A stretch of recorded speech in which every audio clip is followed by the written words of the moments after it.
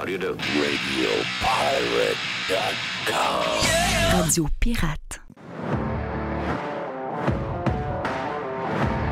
Hey, Jerry! Yes! T'as lancé le week-end hier. Oui.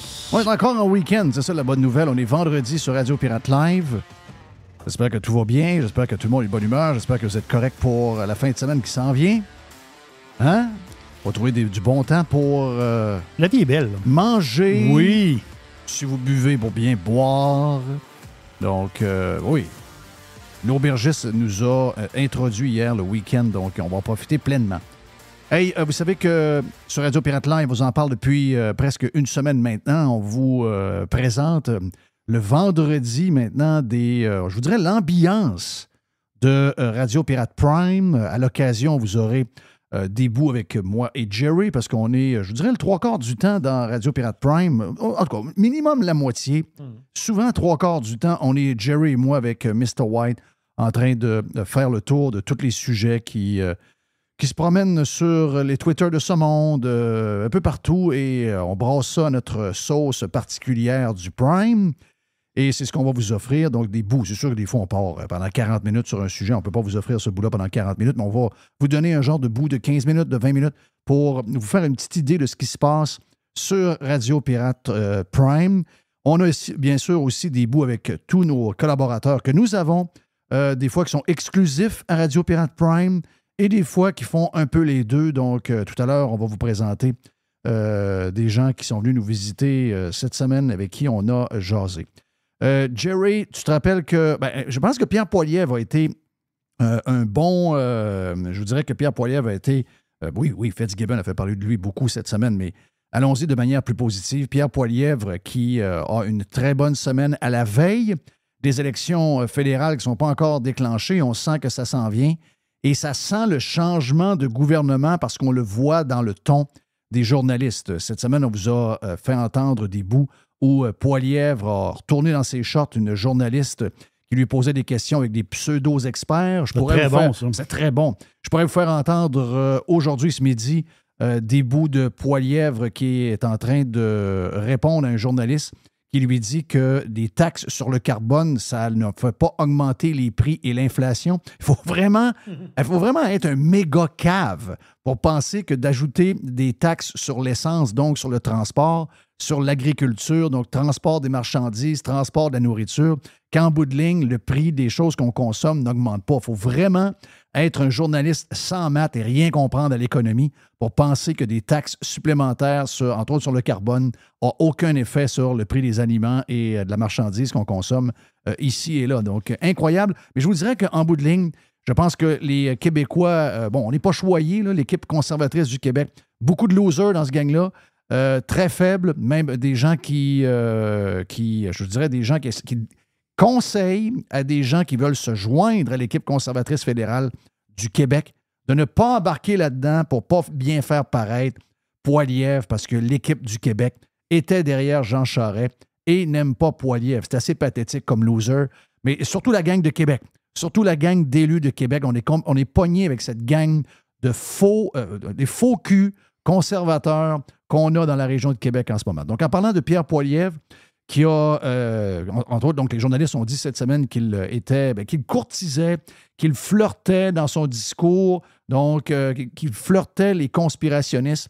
Mais avec tout ça, on a parlé cette semaine de la classe moyenne qui en arrache. oui. Ben oui, surtout on a parlé de ça, de la classe moyenne qui en arrache de plus en plus Ah oui. pour arriver, euh, gracieuseté principalement, de la gestion, de nos bons politiciens, Jerry, de euh, Trudeau qu'on a parlé passablement, et également de la gang de la CAQ comme euh, François Legault et euh, Fitz. On a vu du monde pleurer dans leur auto. Là. On a Bon. vu du monde, on a entendu du monde. Beaucoup cette de vidéos, oui, c'est ça. là. Yes. Malheureusement, on est peut-être venu à la conclusion, Jerry, que ces gens-là ont peut-être même voté dans les dernières élections pour Justin. celui qui les fait pleurer Oui. par toutes ces décisions. Et ça, ben, gars, c'est un peu pathétique. J'espère qu'elles ont, que ces personnes-là ont appris et qu'à la prochaine élection, le but est de sortir Justin Trudeau et de se donner un break avec Pierre Poilièvre. Donc, voici le bout où Jeff, avec Jerry, jase de la classe moyenne et des conséquences, justement, des politiques de Justin Trudeau et de la CAQ sur leur vie de tous les jours. On commence à décrire Pierre Poilièvre comme étant un chef de parti politique qui flirte avec les théories du complot. Euh, J'ai vu ça avec Mme Smith en Alberta. Mme Smith qui, euh, qui semble être du bord du monde, pas à peu près à chaque fois qu'elle prend une position. euh, je veux dire de quoi, j'aurais aucune honte à l'avoir comme première ministre.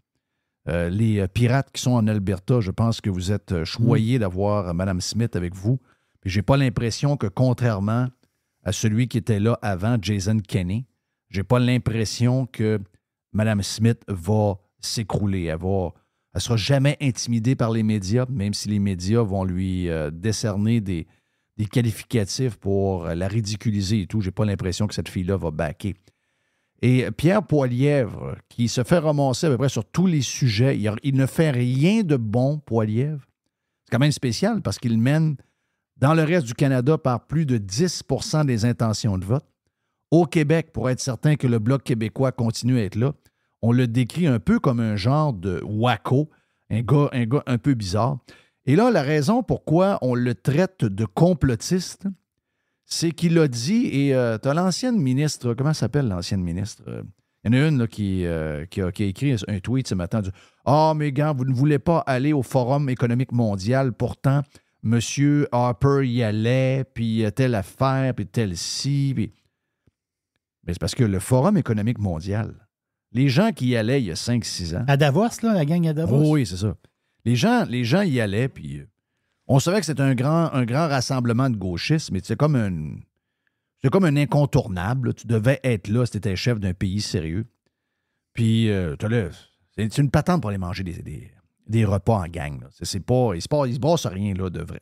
Mais là, on s'est rendu compte avec le temps qu'on a affaire, puis ceux qui ont organisé ça surtout, ils ont un agenda politique. Ils ont un agenda politique. Mais tous les vidéos de ça, ils n'ont pas été truqués. Ces gens-là s'expriment maintenant ouvertement et on parle d'un grand reset, on parle d'une nouvelle manière de faire, on parle d'un nouveau mode, de, d'un nouveau modèle, on parle, on parle de, tout ce qui a été jasé depuis quelques années. Ces gens-là ne se cachent pas de ça. C'est pas euh, on lit entre les lignes et on tire la conclusion suivante, c'est qu'on a affaire à une gang qui veulent fucker notre manière de vivre. Mais non, c'est des gens qui le disent ouvertement. Vous ne posséderez plus rien. Mhm. Vous, vous allez vivre. Est-ce que vous pensez que. euh, parce que Mme Freeman a été. Mme Freeman a évolué elle à Davos. Elle est allée à Davos, euh, c'est en février, ça? Elle est, Oui. allée, elle est allée à Davos. Es-tu allée à Davos, Mme Oui, oui, Freeman? oui, elle est allée à Davos. OK. Est allée à Davos. Voici ce qu'on on- on y pose comme question. Qu'est-ce que vous pensez euh, des maisons, des taux et d'intérêt? C'est c'est le gros sujet au Canada en ce moment. C'est le gros, gros sujet. Et voici sa réponse. Ça ne peut pas être plus creux et plus vide que ça. Là. What's your message to the people who now are questioning whether or not they can continue to afford their houses or enter the market uh, at all? Look, I think that is an extremely important question. And there are a lot of Canadians who are anxious right now and who will be concerned when they see this step taken by the Bank of Canada. That is entirely understandable. And I absolutely understand that anxiety and that concern. Today, we're here to look at how we can unlock economic growth for the next four decades and beyond.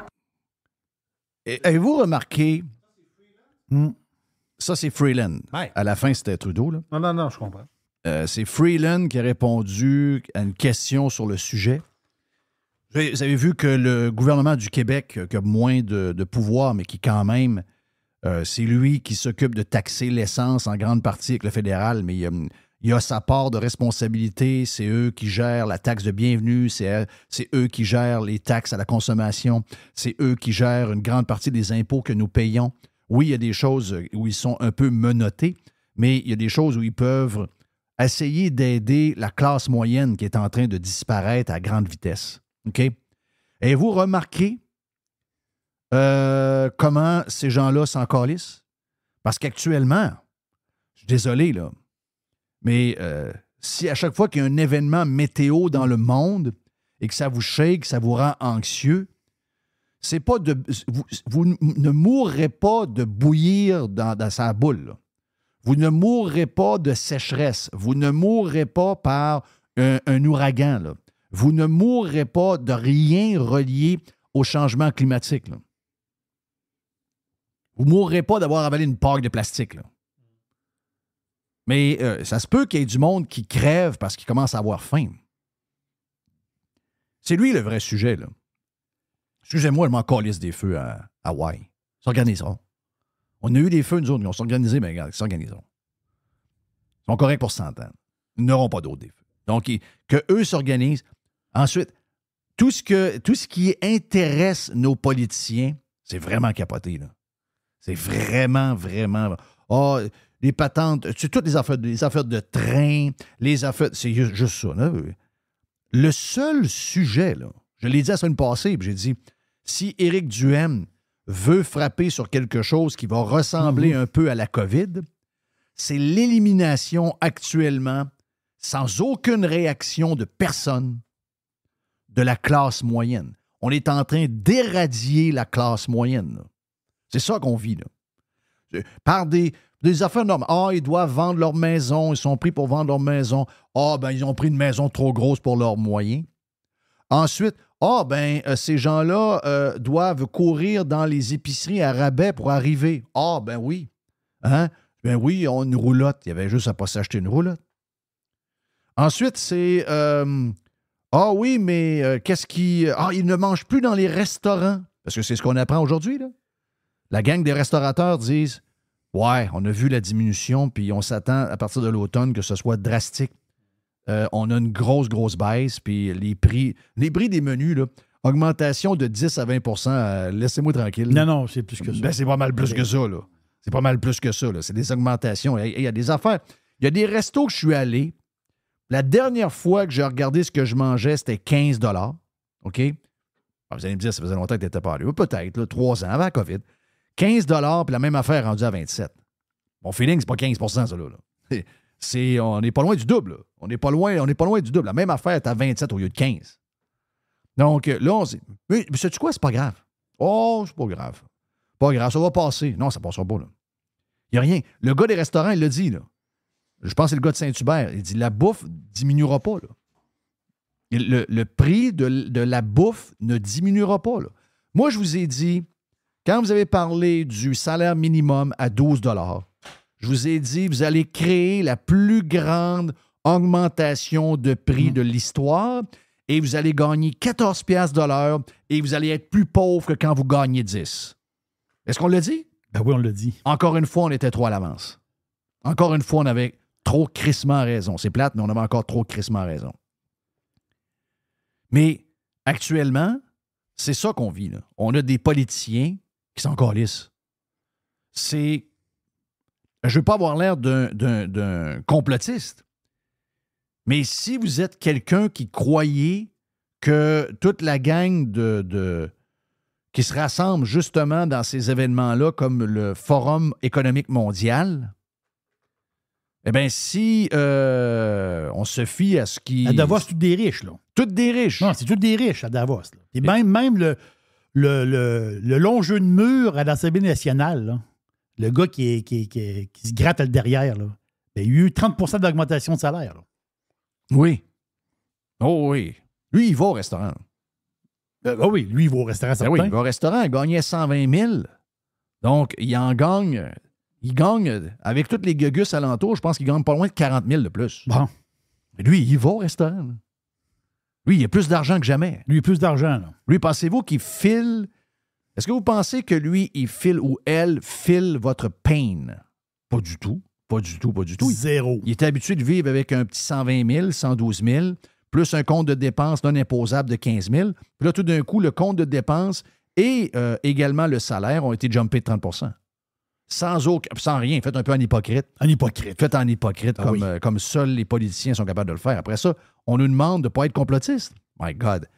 Pierre Poilievre a dit que s'il était au pouvoir, qu'aucun de ses futurs ministres n'ira participer aux rencontres du Forum économique mondial s'il devient chef. Donc, à cause de ça, le journal La Presse et d'autres médias, euh, est-ce que ça vient de...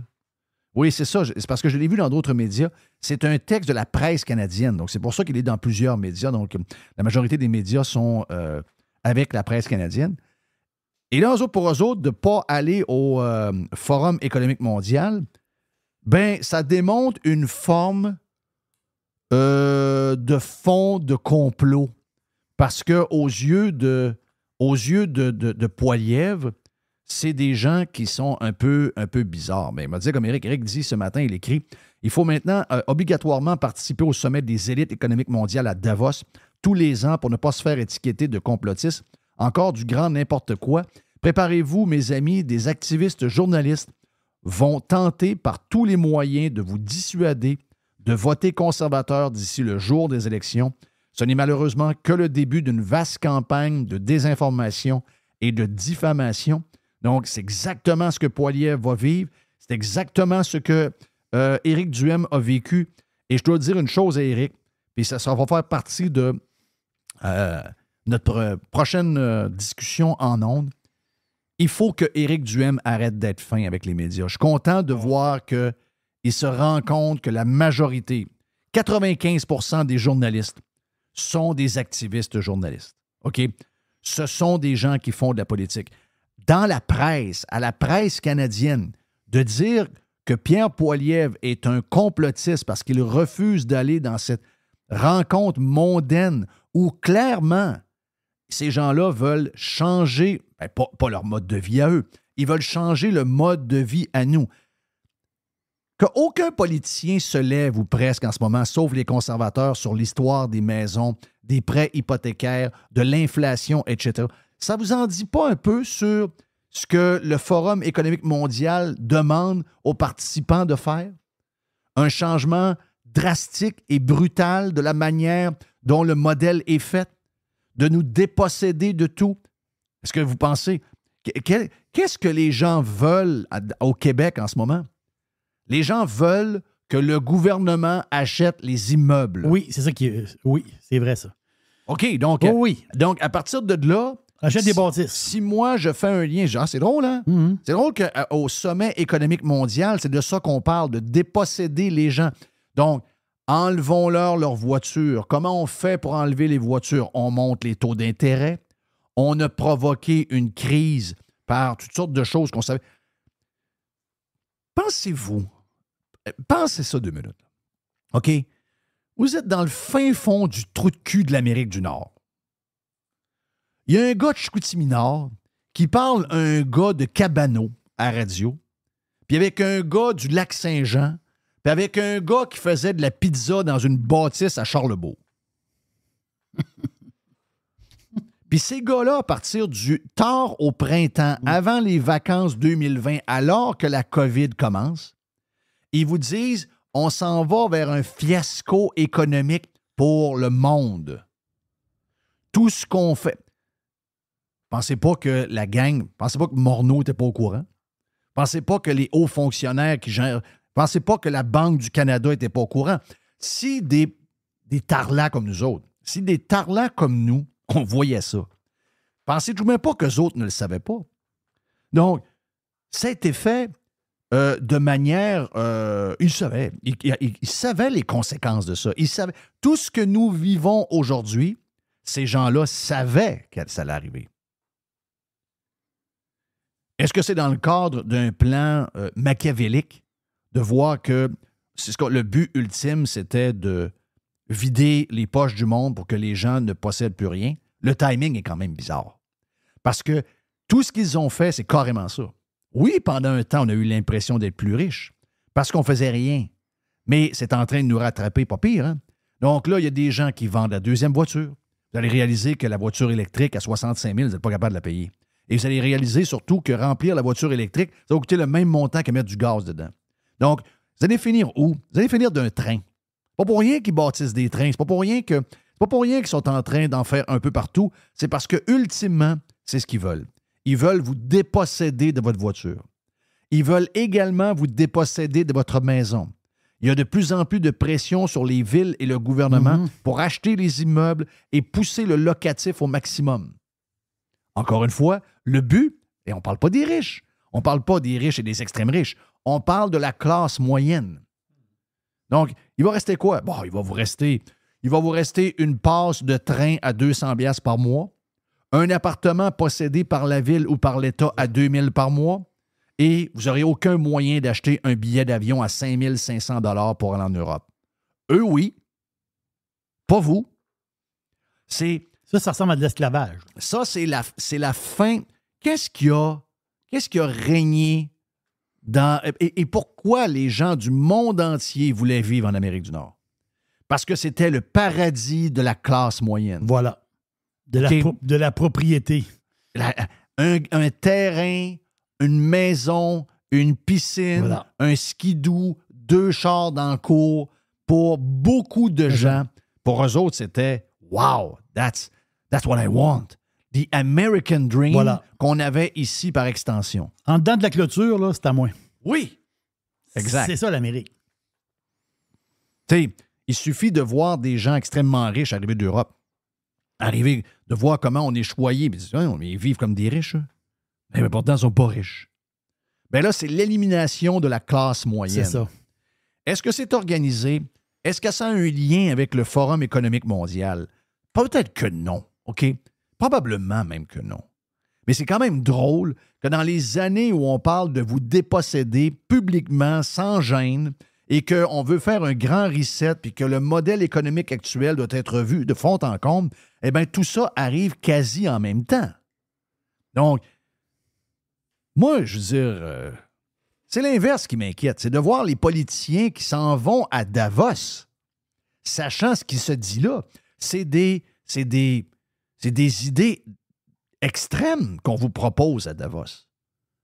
On veut vous déposséder de ce que vous avez. On veut, on veut vous enlever Mhm. le pouvoir que vous aviez au nom de toutes sortes d'affaires, entre autres beaucoup, beaucoup, beaucoup l'histoire des changements climatiques. En passant dans l'Antarctique en fin de semaine, il faisait encore moins 50 Celsius.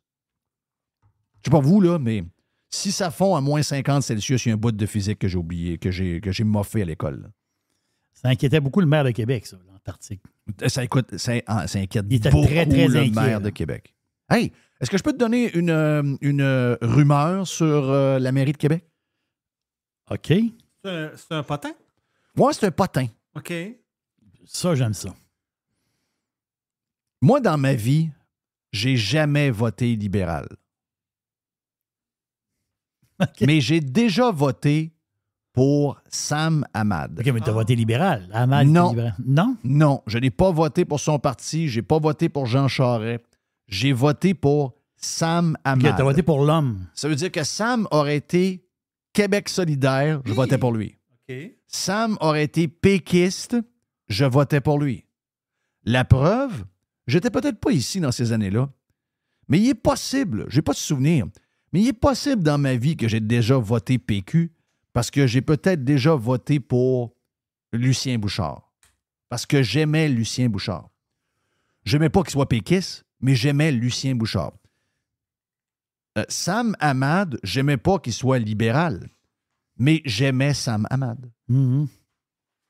Je trouvais que c'est un bon leader, je trouvais que c'est un gars sérieux, je trouvais que c'est un. Sam Ahmad, je- j'aime Sam Ahmad. J'ai des nouvelles qui m'arrivent que Sam Ahmad aimerait se joindre à un parti politique municipal et en devenir le chef. Il y a une nouvelle qui est sortie, euh, je pense, dans le mois de mai-juin, que Ahmad avait été courtisé par les conservateurs au fédéral. Son- ce qu'on me dit, c'est que ces invitations-là ont encore été lancées récemment et il ne veut plus être député. Euh, il a été approché par, je- ce que je, que je pense, les conservateurs fédéraux Oui, c'est ça. et il aurait été approché également par les conservateurs provinciaux pour se présenter dans Jean Talon là, là. Mais ce que, de- ce que je comprends de Sam, il a donné au niveau euh, provincial, ce qui pour lui, provincial, fédéral, est une gamique euh, semblable. Il veut participer à quelque chose de plus proche des gens, il n'y a rien de mieux que la politique municipale. Si Sam Hamad, on ne voit pas ça souvent, là, un, un maire élu qui n'est pas réélu, c'est très rare. Mais si Sam Hamad se présente dans un parti politique sérieux à Québec, qui n'est pas un parti politique euh, QS, parce qu'il y en a plusieurs partis politiques QS, faut pas qu'il ait sa côté avec euh, Jean-François, pas tant de choses, là. Puis euh, cette gang-là, là, ça, c'est trop. ça, c'est- ça, ça fait très burlesque comme, euh, comme euh, parti politique. là. Euh, je ne sais pas quel parti ça peut être. Est-ce que c'est un nouveau parti? Est-ce que. je- J'ai j'ai pas d'idée. OK?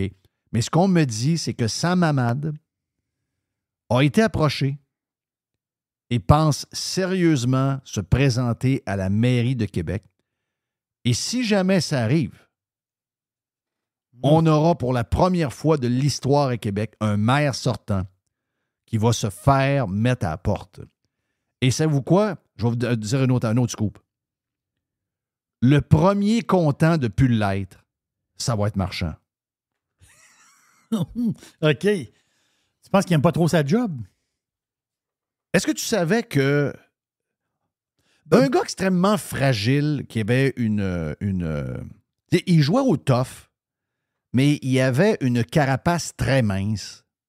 C'était la bombe. Et je vais vous dire une affaire, là. Je vais vous faire un aveu. Personnellement, je m'ennuie de la bombe. Non pas de. Mais, mais j'aimais mieux la bombe que Marchand. Marchand, c'est le genre de gars que. C'est le genre de gars que je pourrais pas l'approcher. Le, pire, c'est que probablement que dans vie, c'est un gars bien correct. Puis la bombe, c'est pas un gars euh, aimable tant que ça. là. On a appris à le connaître un peu. Mais euh, c'est ça, c'est pas, un- un gars qui. C'est un gars qui, qui doit être très gentil dans la vie de tous les jours, mais c'est un gars qui euh, qui est pas bien dans sa peau en ce moment. Donc euh, euh, Mais la bombe, la bombe, il l'a dit souvent, Jeff, dans des, euh, dans des entrevues que la politique l'avait magané. là. Donc, mon feeling, je pense que tu as raison, sa carapace n'était pas très, très épaisse. là. Ben, imagine-toi que la bombe jouait au tough, c'est un bum, et lui était très fragile face à la critique. On a vu c'était incroyable. Il voulait avoir notre peau, il appelait les patrons Oh, des non, médias. Moi, il appelait les patrons de, de Bell, il voulait avoir ma peau. C'est un gars très fragile et c'est un gars qui est prêt à passer par-dessus toutes sortes de choses que la démocratie. Dans la démocratie, là, t'es pas supposé d'app- d'appeler des boss des médias pour demander de Non, dehors des gens qui le challenge. Dans une démocratie normale, c'est pas supposé d'arriver. Mais Marchand, Marchand, Marchand, c'est dix fois pire. là. Marchand, ça- c'est un gars. c'est sûr que si tu quêtes de l'argent pour s'entraide, tu sais, veux dire, à un moment donné, tu es, bien vu, là, dans le sens que tu es, monsieur, monsieur sourire, monsieur qui est gentil. Qui, pour se comprendre, tu sais, c'est pas une bonne cause. Là. C'est que là, tu es maire d'une ville. là. Il y a du monde que y a- ont des. euh, il y a du monde que les goûts rentrent dans la maison. là. Oui. Tu sais, Il y a des- il y a des affaires dolles quand tu es maire. là. Exact. Ah Oui.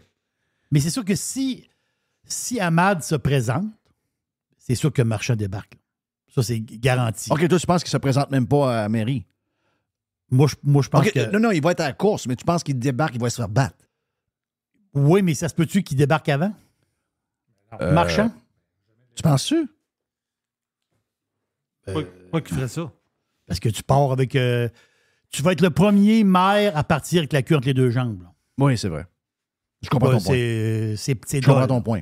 Tu veux pas être le premier maire qui, veux pas être le premier maire qui se fait battre pendant qu'il est en, il est en poste. Voilà. Tu Ça, veux pas c'est avoir jamais ça. arrivé, ça, là? C'est jamais arrivé. Non, c'est jamais arrivé. C'est jamais arrivé. C'est. c'est, euh, Donc, c'est ma, c'est ma, c'est ma rumeur sur euh, Sam Hamad.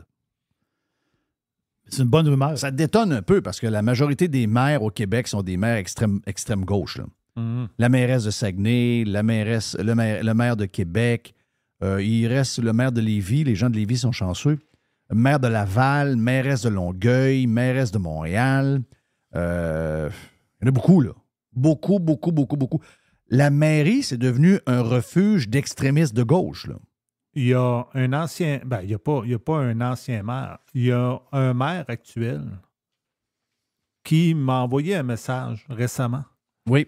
qui me dit à quel point c'était totalement sauter les réunions entre les maires du Québec présentement. Ah ben, qui qui t'a écrit? C'est un maire qui est actuellement en poste. OK, un maire en poste. Mm. Il me dit, tu peux pas imaginer comment que c'est sauté les réunions qu'il y a présentement euh, dans les, le- tu sais, le- le- le- la réunion des, des municipalités. Bon, comment oui. ça veut- je sais pas comment Des patentes green, des affaires bizarres. Non, non, des, il des- dit, on parle pas, pas en tout du service aux citoyens. Ah non, Il dit, donné, je me, il dit, à un moment donné, je me dis, ça va venir sur le tapis, tu sais, mais ça arrive jamais. Ouais. Regarde, euh, c'est, ben, faut le dire. C'est, eux autres n'ont pas trop de misère à, à- à aller dans l'extrême pour les commentaires. Eux autres, c'est, c'est ça. On est dans l'extrême gauche. Les maires sont des maires d'extrême gauche. Je ne sais pas pourquoi l'extrémisme de gauche est toléré. Je ne sais pas c'est quoi, je ne sais pas de où ça part cette affaire-là, mais euh, ça l'est. Hey, je peux-tu te faire jouer juste un petit audio avant, avant d'a- d'aller à la pause? Oui. L'as, là. euh, euh, et- parce que Legault est allé, notre PM, Oui. est allé à TVA rencontrer euh, la gang qui faisait la, ben, la gang de tennis. Là, euh, Frédéric Gay était là et Richard Legendre qui s'occupe. Oh, je Frédéric pense, Gay. Oui. Et là, euh, il, est, il est allé, puis le, je, te, je te fais juste, j'ai juste sorti le début quand il arrive. Puis tu sais, on dirait qu'il s'imite lui-même. Bonjour tout le monde, là! Ouais! Ben, je suis content! J'aime le tennis, là! Je suis content! Ça prend un toit, hein? Il mouille! Donc, euh, voici le PM Legault avec Frédéric Guy. Comment ça va, Frédéric? Et euh, Richard Legendre. Beaucoup de changements dans la vie de Frédéric. Et beaucoup plus riche qu'avant. En compagnie du premier ministre du Québec qui est arrêté euh, nous voir au studio IGA. Bonjour, Monsieur Legault. Ben, bonjour Frédéric, bonjour Richard. Quelle Bonjour. belle semaine. Bonjour François, si Oui, je peux me permettre. Oui, ouais. oui, oui, hein? Oui, très belle semaine. L'avez-vous deux anciens du PQ, hein? Mais on n'ira pas là. C'était une autre époque. OK. Il dit, Mhm. ancien? Hein? Hein? Mais OK, parce que Richard Legendre a dé- déjà été. Y a-tu déjà été député? Il s'est, déjà euh, dé- député ou s'est présenté candidat? C'est sûr que c'est présenté quelque part. mais c'est qui le deuxième? Deuxième quoi? Ben, il dit deux anciens. Ben, deux anciens. Ben oui, mais c'est le, le go. OK, c'est lui-même. Oui. OK, je pensais qu'il parlait d'elle. Je me suis dit, as déjà travaillé au Parti québécois. hein? Je- Ça se peut pas. Euh, Là, le, là euh, le gendre, il dit ancien? Ancien? Tu sais, genre, ben là, on l'est encore un peu. Ben, on l'est toujours. Un piqué, c'est toujours, piqué, c'est toujours, là. Bonjour! Du premier ministre du Québec qui est arrêté euh, nous voir au studio IGA. Bonjour, Monsieur Legault. Ben, bonjour Frédéric, Hey! bonjour Richard. Quelle Bonjour. belle semaine. François, si je peux me permettre. Oui, ouais. oui, oui, hein? Oui, très belle semaine. L'avez-vous l'avez- deux anciens du PQ, hein? Mais on n'ira pas là. en cité? C'était une autre époque. Qu'est-ce que c'est ça? C'est beau comme. comme...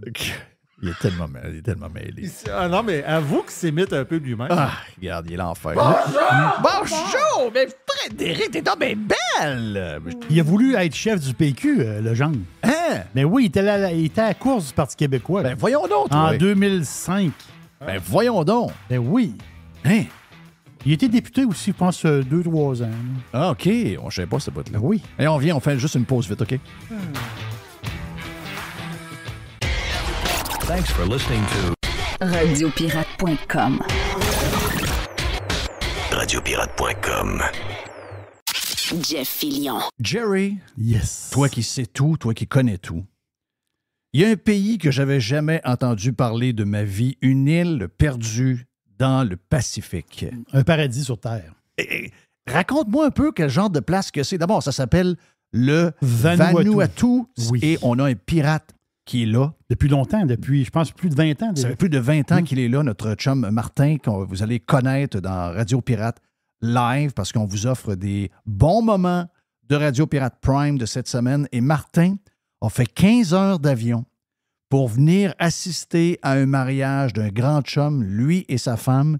Ils sont restés trois jours et ils ont fait un autre 15 jours pour retourner à la maison. C'est incroyable. Rien de trop beau pour la cla- classe ouvrière, quoique Martin Saint-Hilaire n'est pas de la classe euh, euh, ordinaire, même si c'est un gars de Québec, parce que c'est un consul. Il est consul de Monaco. Il est consul de Monaco dans son île. Quelle surprise. Yes. C'est incroyable.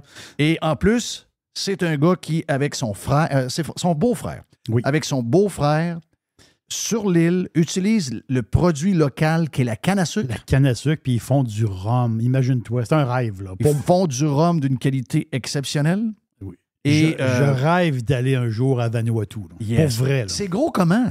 Non, c'est pas grand. C'est pas grand. Non, mais il y a plusieurs îles, mais euh, c'est pas grand du tout. Et on me dit qu'on reste. Moi, je recherche beaucoup les années 80. Et on me dit que c'est très élise comme style de vie. La capitale, c'est Port-Villa. Oui. Je peux te le dire, moi, c'est très années 80.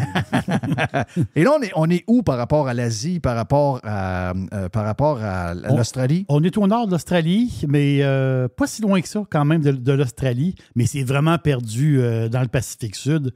Et aussi, c'est des îles qui sont volcaniques. hein. Oui. Il y, en a un qui, bouge un peu. D'ailleurs, Martin va nous parler de son île. Il va nous faire voyager un peu. Merci à Mr. White. Bonne idée, euh, Mr. White, de nous faire voyager un peu le vendredi. Donc, on va aller rejoindre Martin Saint-Hilaire, le consul de Monaco, mais avant tout, un chum maintenant. Il s'en va manger de temps en temps avec des pirates. Notre chum Alec qui est au Japon. Donc, euh, ces, ces- pirates-là, un peu partout sur la boule, se rencontrent et il va nous faire découvrir son pays d'adoption. Et euh, on l'écoute à l'instant sur Radio Pirate Live. Hey Jerry, on est avec euh, Martin Saint-Hilaire. Martin, ça m'a dit comme toi, il me semble qu'il vient trop souvent. On Ah, était quasiment, quasiment, quasiment inquiet. Donc, euh, Martin qui nous arrive euh, de chez lui, j'ai toujours de la misère à le dire. Au Van- Vanuatu. Vanuatu. Vanuatu. C'est tellement un beau mot. Vanuatu. C'est le bout du monde. Oui, c'est l'enfer. C'est l'enfer. Martin, es-tu de bonne humeur? Oui. Oui? Très de bonne humeur. Très bonne humeur. Beau chandail. J'adore ton logo Oui. en passant. Est-ce que ça, ça- Tu l'as peut-être expliqué quand tu es venu euh, l'année passée, mais est-ce que le logo a un, un lien direct avec l'histoire du pays ou ça a été. euh, ça a été il n'y a pas de réflexion derrière ça? Non, non, c'est inspiré des, euh, de, de tatous euh, mélanésiens qui se font dans la province du Nord au Vanuatu, à Torba, puis euh, des tatous qu'ils mettaient sur les femmes à une certaine époque. là, OK, OK, OK. Donc, c'est un lien. Ouais. Très beau. Très beau, effectivement. Puis, euh, comment ça se passe? Ça se passe bien. Là, je suis, je, je suis, je suis venu pour un- juste un week-end. Hein? euh, un ami qui avait euh, son mariage euh, à, Mo- à Montréal, à, cabane à sucre du Pied de Cochon. Puis on OK. s'est dit, on peut pas manquer À ça. Saint-Eustache? Ah, ouais. Hmm. Fait que, on est venu, moi puis ma conjointe Marie-Ève, pour peu, là, quatre peu. jours. T'as est fait venu- d'autres choses à travers. T'es allé ailleurs pour quelque chose d'autre. T'es pas juste flyé de chez vous pour une fin de semaine d'en venir ici. On a pris quatre vols sans venir. puis on, prend- on est arrivé jeudi matin. Puis euh, on part demain matin, mardi, puis on retourne. Tabarnache. Fait qu'on a fait euh, un week-end de quatre jours. Donc là, t'as fait 15 quoi, là? Heures, T'as fait 15 quoi? heures de décalage. Fait que, C'est euh, incroyable. Il pourrait être député. Hein, ben oui. c'est un petit voyage green. Donc là, t'es parti de Vanuatu, t'es allé où? T'as-tu Vanuatu, toujours la même ride? euh, Va- Vanuatu, Fidji, Fidji, Los Angeles, Los Angeles, Toronto, Toronto, euh, Québec. Quand même.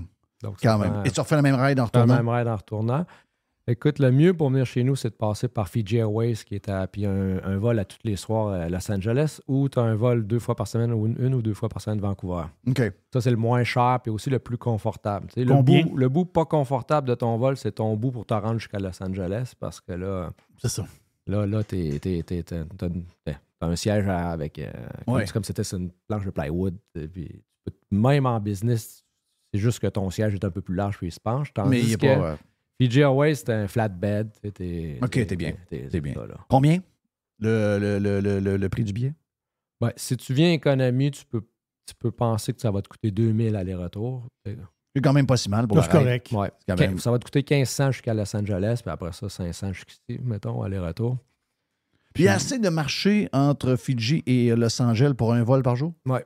Wow. C'est surtout touristique ou euh, oui? C'est juste C'est juste du monde de Los Angeles qui vont à Fidji Ouais. en vacances? Ouais. Capoté, hein? Ouais. Wow. Ouais.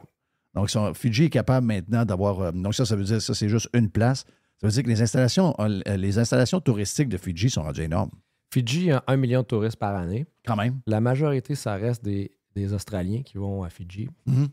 Donc, euh, l'Australie, c'est juste un pays de 25 millions de personnes, donc c'est même plus petit que le Canada. Puis- mais euh, eux, c'est un vol euh, de 4 heures, mettons, C'est à ça. la Fidji. Fait que à la. Fidji, c'est comme euh, pour nous aller en Floride. hein. Ouais. Fait que c'est leur marché principal. Après, les, ça va être les États-Unis qui vont être leur, leur, leur, le Leur, deuxième- euh, leur deuxième marché. Leur, deuxième marché. Tandis qu'au Vanuatu, nous, on a 100 000 touristes par année. Donc, on en a 10 fois moins. Mhm. Mais est-ce que pour vous autres, 100 000, c'est quand même euh, au niveau logistique, ça commence à être problématique ou vous êtes capable de ramasser 100 000, bien d'avoir plus? Oh, on pourrait en avoir, on pourrait en oui? avoir plus. ouais, ouais. Mais je veux dire, euh, ouais.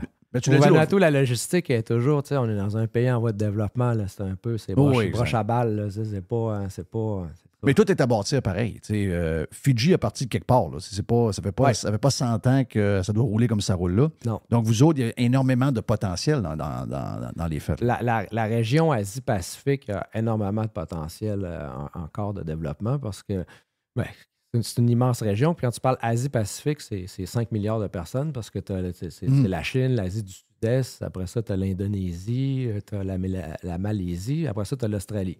En fait, l'Australie, c'est les États-Unis de ce coin-là. C'est le- le, pays propre, riche, euh, le pays euh, Mhm. où, où les 5 milliards veulent aller.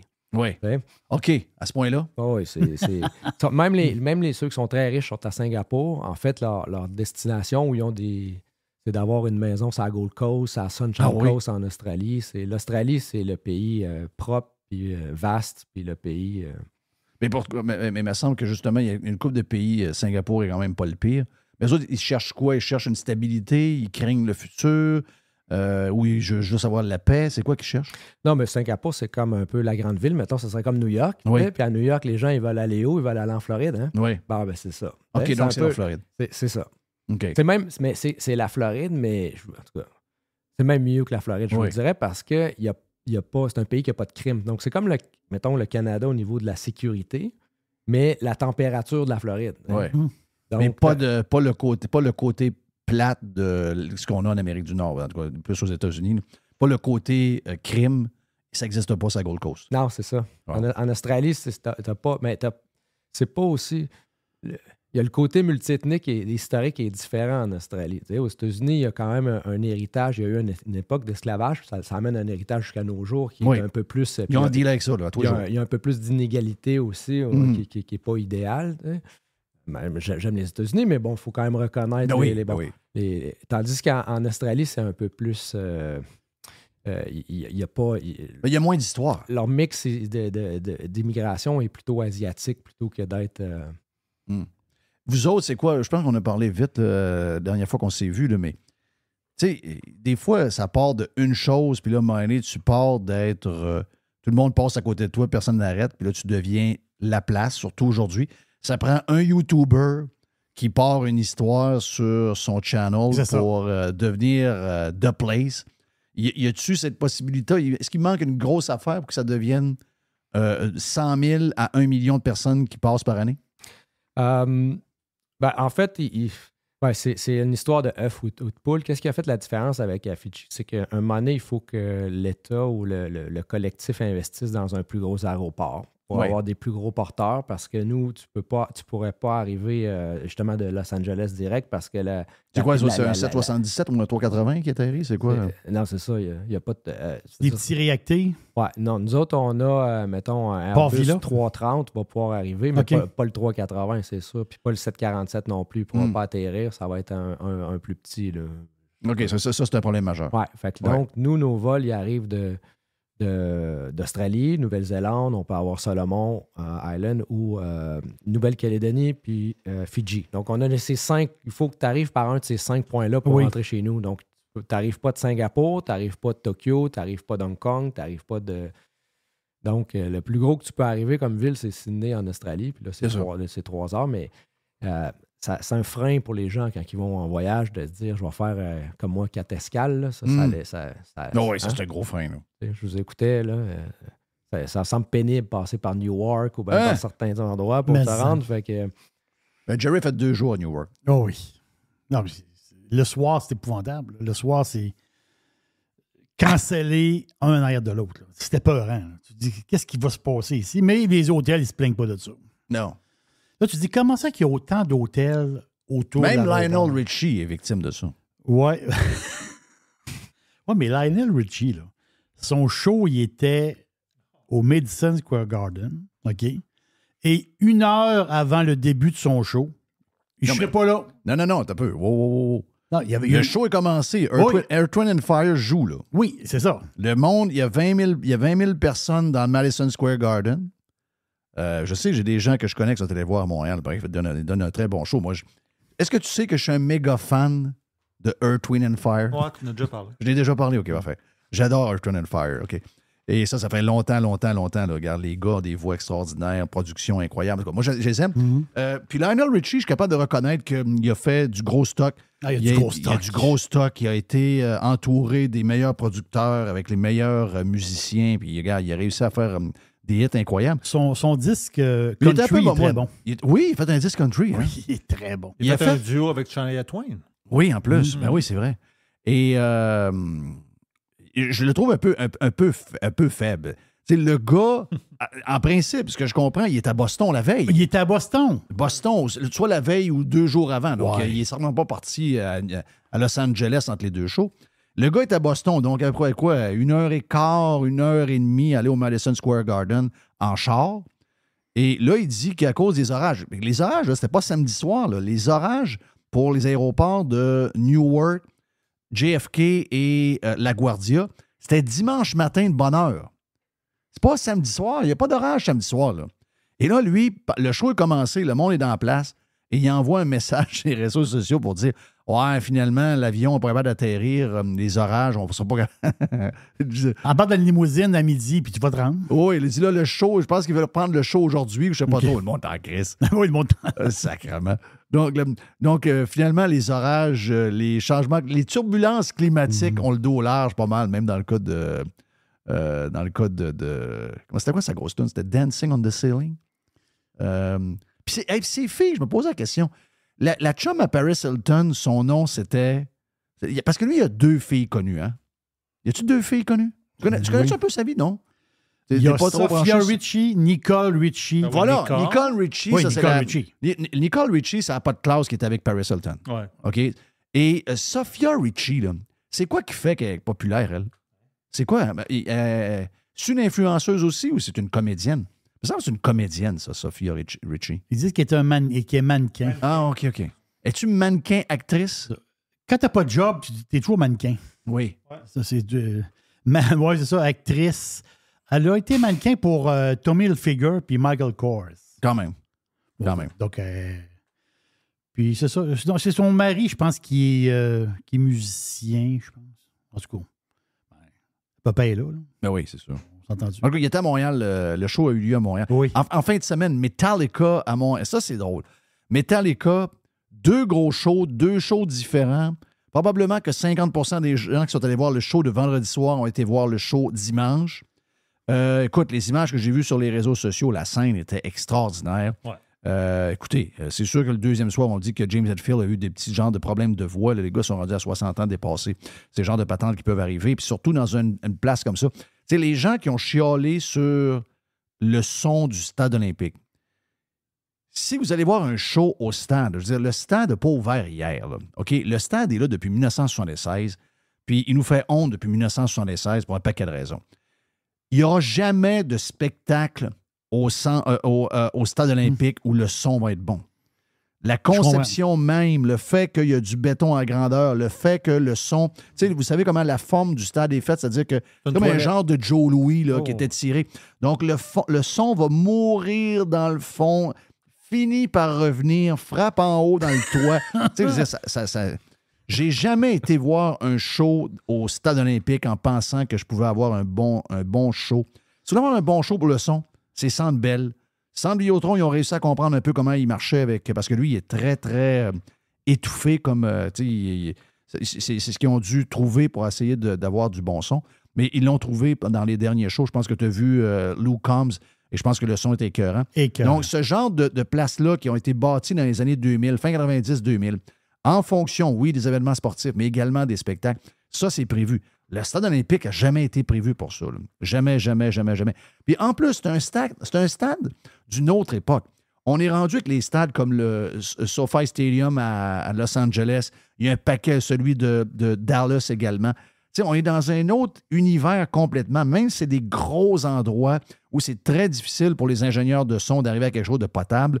Les stades de cette époque-là ont été faits en pensant justement à tout le côté acoustique, mais jamais Taïbert, jamais les ingénieurs de, en 1970, quand ils ont pensé à ce stade-là, jamais ils ont pensé au côté spectacle. Donc, euh, tu sais, Oh, bon, là, on a appelé la régie des installations olympiques. Voyons, comment euh, Ils ne sont pas capables de nous donner de, de- réponse. Oui, mais c'est le stade olympique.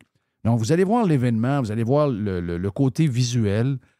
Il est possible que vous soyez quelque place, puis finalement, vous entendez pas le chanteur, vous entendez pas euh, la guitare, vous entendez juste la bass, puis juste le drum. Mais c'est ça, le stade. C'est carrément ça. vous devez le savoir avant. Oui, mais j'aime Metallica, je m'attendais à un gros show. Mais, Premièrement, c'est pas de leur faute. Deuxièmement, si tu t'en vas là en pensant que tu vas avoir un bon son au stade, vous êtes, vous êtes. C'est jamais arrivé dans l'histoire que le son au stade a été bon un soir. J'en ai vu, j'ai dû voir une dizaine de shows au stade. Jamais, jamais, jamais. Quand j'y vais, je le sais. Le son va rebondir, il va y avoir de l'écho, il y a des bouts que j'entendrai pas. C'est de même que ça marche. Regarde, tu veux qu'on fasse?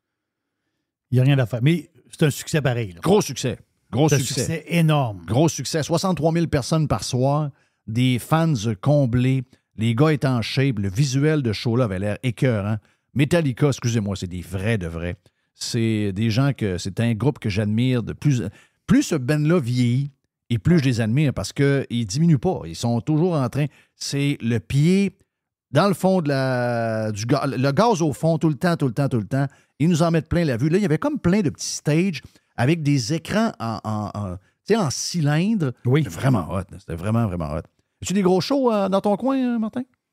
À part Villa.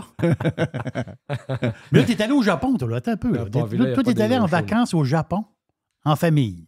Ah oui, oui, c'est ouais, c'est la deuxième fois qu'on fait ça. Nous autres, on, OK. ad- on adore, on adore le Japon. Euh, je conseille à, à tous là, qui, qui ont des, qui ont des enfants. T'étais où au Japon? Des, jeunes. euh. Ouais, cette fois-ci, on est allé, on est arrivé à Tokyo, euh, classique. C'est la, la- la plus grande ville au monde. hein, Donc, t'as de- vu, t'as vu Alec? J'ai vu Alex. Ah, voyons donc. t'as vu peu. Wow, wow, wow, wow, wow, J'ai pas osé te le demander, parce que là, j'ai dit. OK, t'as vu Alec. Ah oui, j'ai vu des photos. T'as-tu vu J'ai vu Alex deux fois cette année. Arrête! Oui. Ça, Mais ça, je savais là. que tu l'avais vu une première fois, mais là, tu l'as revu. Ouais, ouais. Mais Là, je l'ai revu avec Asami. On Oui. est allé manger avec mes enfants puis lui. Est-ce que Euh, c'est c'est vrai que Asami mange beaucoup? Ah, je dirais que oui, elle mange. Mais Elle, mange comme tout. Je n'ai Comme- pas remarqué. Là, Mais ça mangeait plus que quelqu'un Ouais. Elle, était, elle était la seule qui mangeait un truc, par contre. euh, c'était- quoi donc? C'était c'est de la langue. Elle, elle trempait, là, c'était un shabu-shabu. C'est Ouais. comme une espèce de. si On veut de la fondue chinoise, là, qui tu OK, trempes, là, OK. ta, ta- ta viande dans le. Puis euh, elle, c'est la langue de.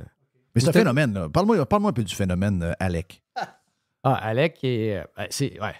C'est- C'est c'est très spécial d'arriver aussi loin que ça puis de rencontrer un gars avec. euh, il y a quand même un, un accent bien prononcé de Ah, sa, de région. C'est un vrai de vrai bleuet. Là. Ouais, un, Ouais, un puis- pirate en plus. La, la- la- la- la famille du côté de la mère, à ma femme, elle vient actuelle, euh, de Dolbeau. Donc, ils ont comme des, des gens qui OK. se connaissent. Là, tu sais. il y a OK. comme des- Je savais pas que ta blonde était de Dolbeau. Tu Sa déjà dit? ouais, ouais. Sa mère Ouais, est de Dolbeau. ouais, ouais. OK. Elle était de Chicoutimi, ben, le- le- ouais. OK. la mère de Dolbeau. Fait que OK. Ça, faisait les, ça fait les deux. Oui. Ah ouais, non, c'est ça. C'est... Donc, euh, Toute part du royaume. toute Oh oui. part du royaume. Il n'y a rien à faire. Alors, moi, ça m'inquiète. Ouais. Non, mais entre le moment, je l'ai vu il y a peut-être. euh, je l'avais vu en février, puis je l'ai vu, là, il, s'est- il a, il a- il a- il a- Il a perdu beaucoup il de a- Il poids. a perdu du Oui. poids, il est plus. euh, il, est, il est- il est déterminé, là, il est plus en forme, puis. euh, On l'a shaké, moi. Non, non, il avait dit. Hein. Il avait dit, mais là, tu rentres plus dans tes chemises. Il va falloir que tu fasses de mais, quoi. mais c'est un spécial avec ces histoires de vêtements. Là. Tu y Ah parles ouais, de tu ça. là, euh, tu sais, là-dessus, il dépense, puis après ça, il comprend pas que tu peux, tu peux payer business en avion. Tu sais, ça, il- ou à l'hôtel, là, il est le plus cheap qui existe. Là. Oui. Ouais. Puis de l'autre côté, il y a un pour côté, les vêtements, ça il y a un ça- côté ça- hyper cheap. Il aime ça magasiner chez Uniqlo, euh, la version, je sais pas trop quoi, Old Navy un peu cheap. là. Il est bien content de s'acheter des t-shirts, des bobettes pas chères. Mais quand c'est pour des chemises, même s'il a payé 15 000, c'est pas grave. Mm. Quel phénomène. Mm. Même, même pour. euh, Ben, des fois, c'est comme ça. C'est ça. On avait des bonnes discussions parce que des fois, on est un peu l'inverse, en fait. Moi, j'ai de la difficulté à payer cher pour un, pour un morceau de vêtement, là, pour Oui, ce, genre pareil. de truc-là. tu sais. Mais ça me dérange pas de payer cher au restaurant ou payer cher dans l'avion parce que Mm. ça, c'est- je, je- en tout cas, c'est peut-être. Je pense qu'en vieillissant, tu sais, à un moment donné, on, on, on sera pas là tout le temps ou ça sert à quoi de.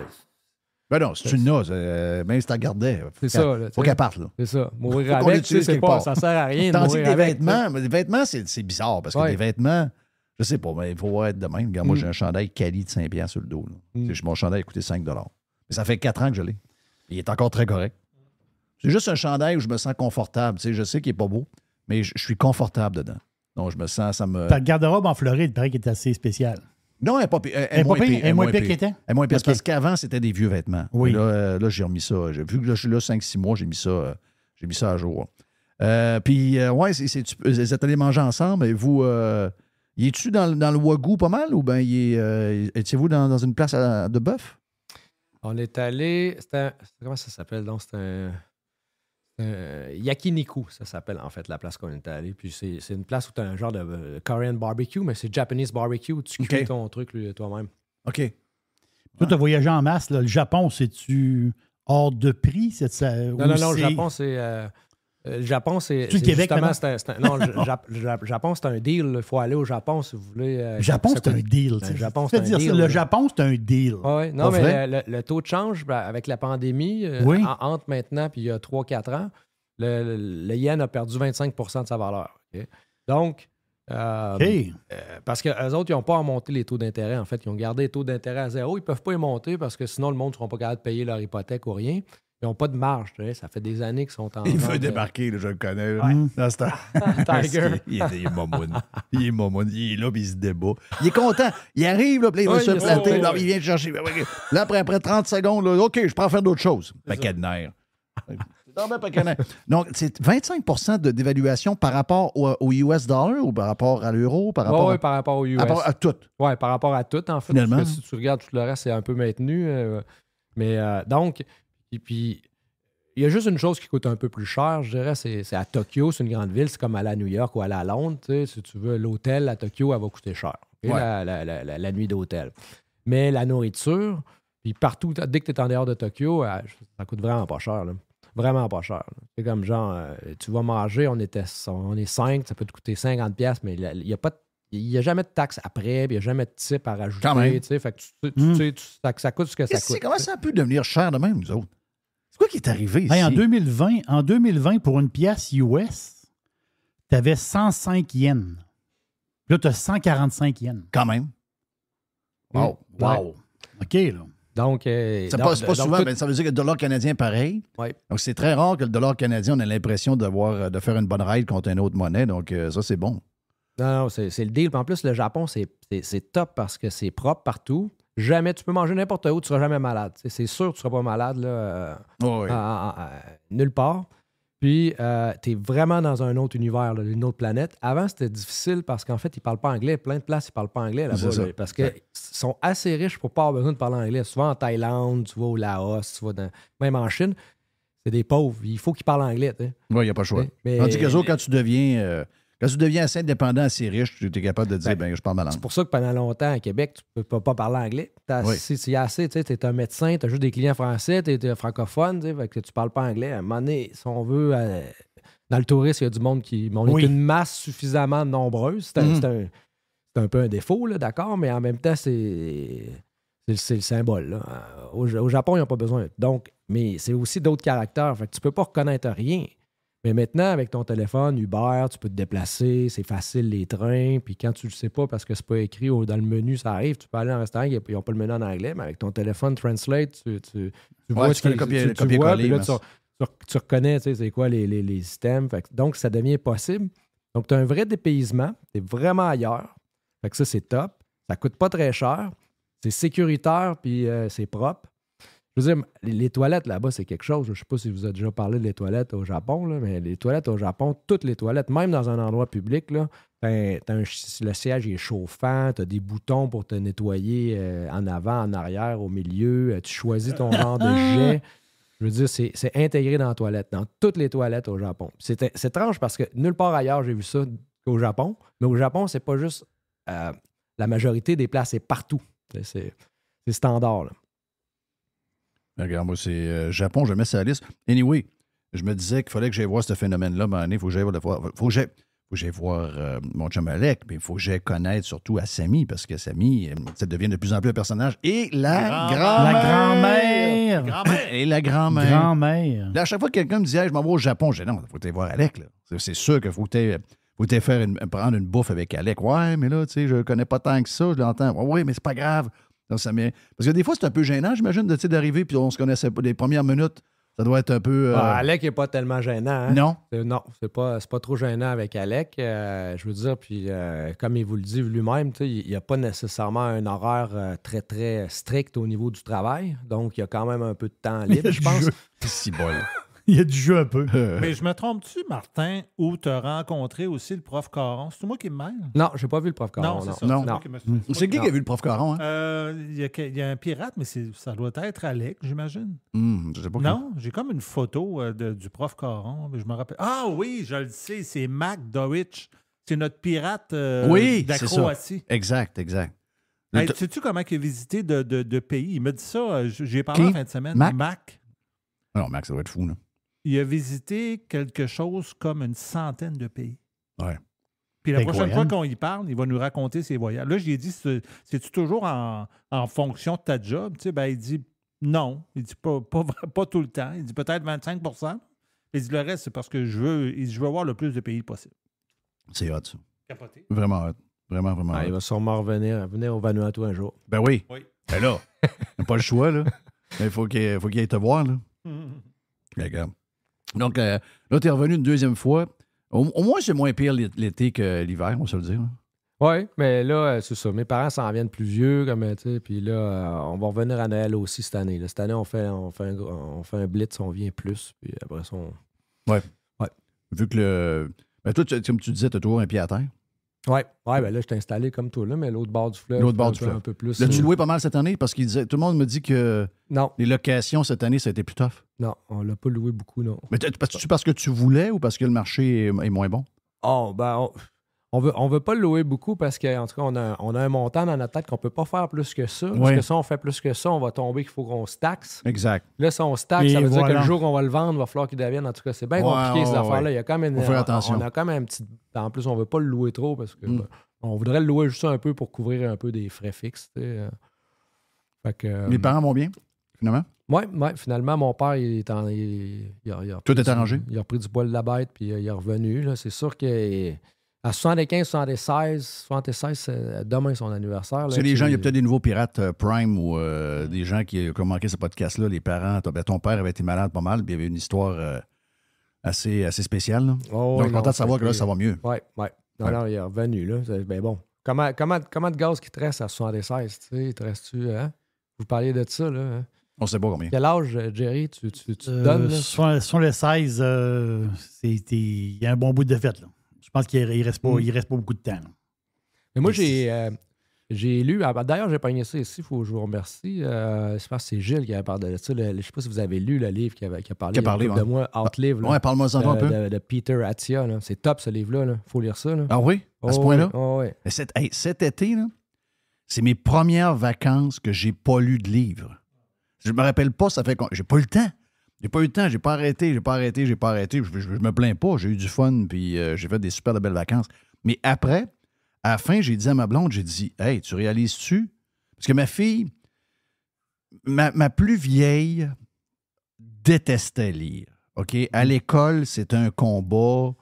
Euh, elle- ben, puis on disait tout le temps, ouais, mais si. Mets-toi là-dedans, ça va venir, ça va finir par revenir. Ah, j'ai ça, j'ai ça, j'ai ça. Elle nous a dit ça. Toute son école, son secondaire, pareil, qu'elle avait des travaux avec le. Puis là, je sais pas qu'est-ce qui est arrivé, là. Mais là, là, elle bouffe. Elle bouffe un livre par semaine. Un gros livre, là, est dans une série de je sais pas trop quoi, là. Puis là, ben, elle passe les livres à sa mère par après. Sa mère est là-dedans aussi. Puis là, je regardais, je me disais, hey, j'ai pas lu de livre dans mes vacances. Habituellement, je lis entre deux et trois livres. J'ai réussi à lire entre deux et trois livres. Là, zéro livre. Puis, sais-tu quoi? Je l'avais mis dans ma liste de livres-là. Tu je me disais, c'est un peu. C'est-tu c'est-tu flayé? C'est-tu. euh, Ah, tu- non, non, non, c'est pas du tout flyé. C'est- comme l'état actuel. C'est l'état actuel de la science pour. euh, par- euh, si tu veux vivre en santé longtemps, tu sais. euh, Ouais, mais y a-tu un côté moralisateur dans Patente? Non. Non? Donc, il te donne juste le, ce que ça te prend, puis tu c'est take it or de- quelque chose d'autre. Non, non, c'est très, très aussi terre à terre puis pas gourou dans le sens où il dit écoute, tout ce que tu vois, tout ce que tu lis sur tous les régimes là, intermittents, puis tout, tout essayer tu sais, dans ces affaires-là. Pour être plus en santé dans la vie, on essaie toutes sortes de choses. tu Oui. On se dit ah, je vais, man- je vais arrêter de le petit déjeuner, euh, tu Mm. on va prendre. euh, manges plus de fibres, moins de fibres, plus de viande, moins de viande. Une affaire qu'il dit dans son livre, c'est qu'on devrait probablement manger. Tu sais, quand ça fait ton affaire, tu le retiens plus. là. Oui. On devrait manger plus de protéines. OK, donc plus de viande? Les protéines, c'est bon. Ouais. Ça, c'est le fun. Yes. Ça, yes, yes. yes, yes, yes, yes, yes. Très bon. Yes, Ouais, ouais. je, je l'aime déjà. Ouais, parce qu'il faut que tu fasses un peu de masse musculaire. là. Ça, Ouais. c'est quelque chose que j'ai sur ma liste de to-do parce que c'est pas quelque chose que j'ai pratiqué à date dans ma OK, vie. tu manges mais- pas euh, be- beaucoup de. Non, non, non, non, mais je, je, mets- je fais pas beaucoup de. De, De- de- de sport. de- de- pas de, de- de muscles. De muscles. Je fais, je- moi, je cours, je fais beaucoup de cardio, Ouais. mais je fais pas euh, de, de, de, de gym de muscles. sais. Il faut que tu fasses du muscle. Mais tu n'es plus obligé de faire des poids. Il y a, je sais pas si tu as vu les apps qu'il y a de, de bonne forme. là. Tu sais, les- les- un peu euh, les dérivés de la planche Mm. et toutes ces choses-là. Tu n'as plus besoin parce qu'en vieillissant, les poids, tu vas te blesser. Tu vas finir par te blesser. Donc, à moins que tu prennes juste des petits poids de 15 livres, 20 livres, vous pas de problème. Mais si, mettons, tu vas dans les poids 30, 35, tu sais, des exercices avec ça, tu finis, nos, en vieillissant, nos muscles sont beaucoup plus fragiles que quand on avait, mettons, 30 ans. Puis, euh, tous les nouvelles exercices, là, euh, j'en, avais, j'en ai un programme que, j'avais, que j'ai commencé, puis à un moment donné, j'ai mis de côté parce que j'ai pas eu le temps. Mais je voulais te dire que c'est un programme le fun. tu sais. C'est pas rien de. C'est, c'est pas vrai que la planche, tu as besoin de faire deux minutes. Tu sais, quand tu fais une planche, il y a toutes sortes de planches. Tu peux t'asseoir sur tes fesses, les jambes dans les airs, le dos rond. Mais quand tu as fait 20-25 secondes, t'arrêtes. Là. Avant, quand on a commencé toutes ces affaires-là, il y avait comme un défi. Ah, fais donc une planche pendant trois minutes. Ben oui, là, à la fin, tu as le shake demain. Tu n'as pas besoin de faire ça. C'est, c'est plus un programme de 15, 16, 17 minutes où tu fais beaucoup de- d'exercices dans le même style, différents. Tu en fais une douzaine, une minute, 20 secondes de répit, une autre minute, 20 secondes. Mais c'est toutes des affaires le fun. Puis sérieux, là, sur la, la masse musculaire, c'est vraiment. Écoute, il y a des applications, il y en a à tonnes. Ouais. Ça coûte euh, 9,99$ par, par mois. là. Mais tu suis ces programmes-là. Puis euh, ce que j'aime de ça, c'est que. Tu sais, des fois, il y en a qui, qui vont au gym deux heures de temps. Moi, j'ai pas deux heures. là. Tu sais, J'ai pas deux, j'ai pas ça. J'ai pas, je peux pas faire deux heures. Mais si tu as une demi-heure, tu es, capable d'avoir un bon programme quotidien qui est vraiment hot. C'est vraiment euh, Martin Saint-Hilaire du euh, Vanuatu. Donc, euh, on- c'est quasiment une visite aux six mois. De ce que je comprends. Tu vas venir quand? là? Un petit, trois jours? À Noël. Incroyable. Il est venu quatre jours. Oui. Quatre Non, jours. c'est quatre jours. C'est incroyable. Es-tu obligé de prendre des vacances en venant C'est- chez c'est vous? quatre jours À Noël, je vais revenir. venir un mois. OK, tu viens un mois euh, dans ton des fêtes? Ouais. Hmm. Donc, euh, on va se dire à la prochaine. On se dit à la prochaine, mais quand tu Merci vas... pour le rhum. Oui. Ben moi, je vous remercie. euh, c'est toujours le fun de vous voir en personne. Ben oui, c'est le fun au bout. J'ai vu, la- vu les nouveaux studios. hein. Je suis Ah oui, un, fait- un des premiers. euh, Oui. c'est top. Mais c'est la deuxième semaine. Donc, euh, Il fait le studio tour. il n'est pas fini encore. Là. Mais, mais que tu reviennes, là, il va être... euh, Il va être, il va être décoré. Là, Oui. Il va être, là, là, on est sur la base pas mal. Là, Mais... je peux mettre l'éclairage Vanuatu, si vous voulez. On a-tu l'éclairage Ah, Vanuatu? bon, on va checker ça. ouais. Ouais, on a- hey, on est parti pour euh, Radio Pirate Prime. RadioPirate.com. Radio Pirate. Radio Pirate. Jerry, le vendredi, on a toujours une invitation, le fun, avec un gars qui est avant tout un de nos bons, bons, gros, gros, ben, grand chum. Notre chum Carlos de Punisher.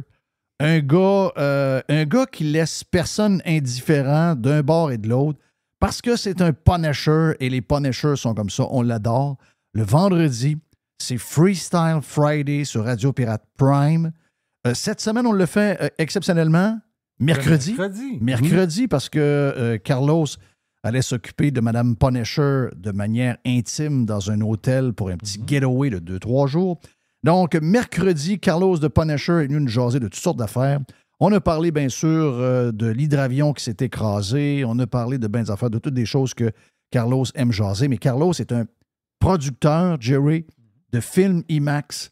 Donc, c'est un, je sais vrai, pour, pour nous autres, c'est une référence. On aime jaser avec lui des séries télévisées sur ça. Netflix, sur les autres streaming aussi. Et, euh, Il y a- l'œil de la caméra, si on peut ben dire. oui, ben oui, ben oui. Si tu vois que c'est c'est c'est- ah, dans son ADN. Oui. C'est euh, là-dedans qu'il il est bon dans, dans un paquet d'affaires, très bon en politique américaine, très bon dans, dans un paquet de choses. Euh, On a, moi, j'ai aimé la discussion que vous avez eue, entre autres, mercredi, sur les chaussures que tu avais parlé dans la boîte, les chaussures euh, de course qui sont maintenant prisées. Et vu que Carlos est un bon, euh, un, un bon gars de, de, de- course, eh bien, c'est justement la marque qu'il utilise, puis ils en avaient parlé tous les deux.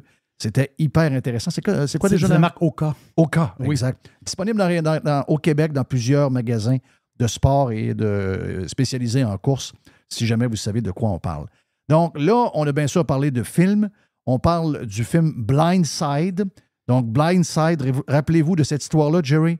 C'est une histoire, euh, c'est incroyable parce que euh, c'est, un gars qui a été adopté par une famille. Et puis, euh, ce gars-là, il s'est fait. C'est un gars qui était, on dirait, un physique imposant. Il a réussi, euh, comment dire, avec le courage d'arriver dans la NFL. Il a, quand été, même. il a été motivé par la madame, il Oui. faut le dire. Sandra Bullock a fait une bonne job comme, comme maman. Et Tim McGraw a fait une bonne. Parce que c'est un film de 2009, je crois. OK, ouais, euh, OK, aussi, aussi Oui, vieux oui, que ça. Euh, Film, moi, que j'ai pas vu, je vais vous le dire, mais ma blonde est allée le voir au cinéma. Ma blonde a capoté bien raide. Et on a été très déçus de savoir que la chicane est poignée entre les parents qu'on pensait Ça, adoptifs incroyable, ça.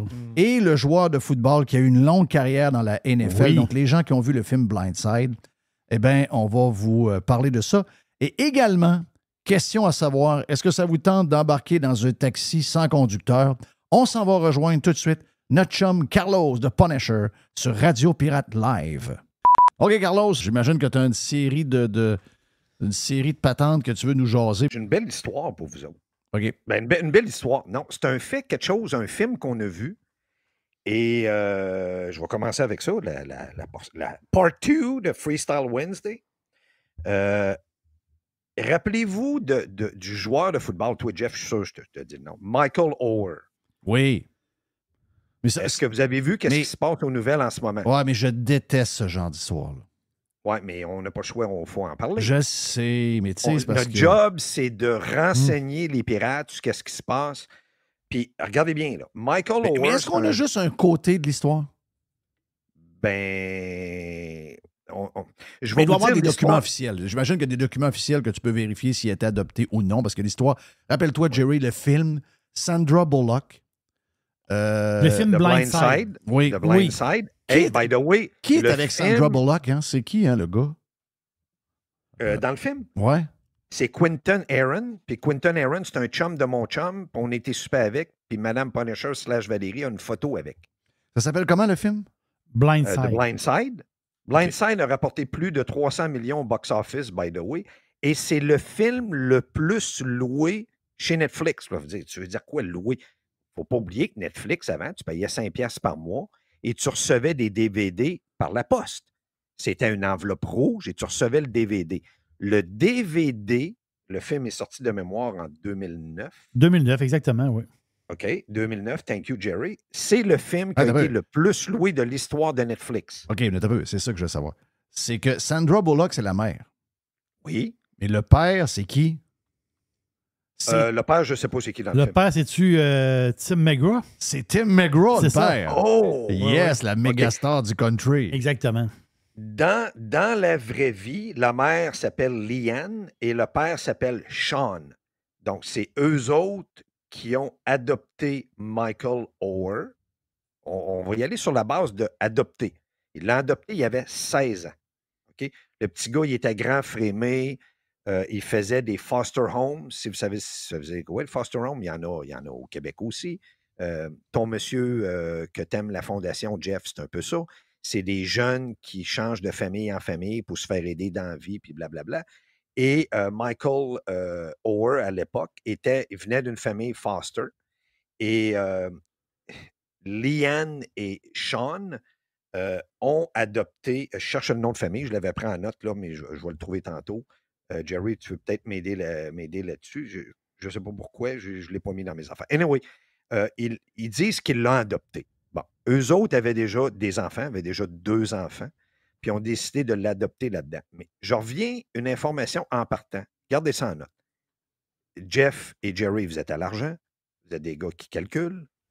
Euh, la Liane vaut 50 millions aujourd'hui et le Sean vaut 25 millions. On s'entend que ce n'est pas une famille normale. Total, le couple vaut 75 millions. La raison pourquoi que je vous amène ça sur la table, je ne prends pas d'un bord ou de l'autre parce qu'on n'a pas toute l'histoire.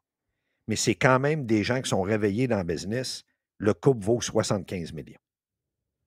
Bon. Et la madame et le monsieur. Jerry, tu te rappelles la série que j'ai dit d'écouter Below Deck? Toi, je t'avais dit spécifiquement d'écouter Below en Méditerranée parce que il allait dans les îles grecques, puis il se promenait tout dans ce coin-là. Va voir ça, je sais que tu es maniaque de ce coin-là. Et, la série Below Deck, eux autres, ils ont joué dans un épisode de 2017. Fait que c'est c'est du monde qui sont connus un peu, c'est du monde qui ont de l'argent, c'est du monde qui ont brassé.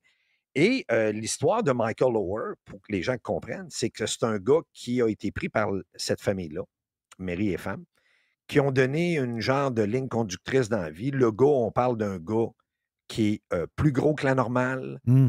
Euh, c'est un gars qui est frémé. On parle d'un gars de 6 pieds 5. Quand il jouait dans la NFL, il dit 6 et 5, 3, 9. Euh, ils disent, bon, c'est son, c'est son record qu'il a quand on va sur NFL.com ou whatever, là, qu'on fait des recherches. Puis Michael Lower a finalement, euh, avec la- l'aide de cette famille-là, la directive, qui apprennent à lire, qui apprennent à écrire, qui apprennent à comment se, se mener, tout ça, c'est que ce gars-là s'est rendu dans la NFL. Et euh, quand il a euh, signé dans la NFL, il a joué pour euh, Jeff, tu te rappelles l'équipe, les Ravens de Baltimore. Il a joué Oui. genre euh, euh, 8, 9, 10 saisons pour les Ravens de Baltimore. Il a joué un petit peu pour Tennessee, puis un petit peu pour la Caroline. La Caroline, de mémoire, je pense, à la dernière équipe, il a joué genre trois matchs.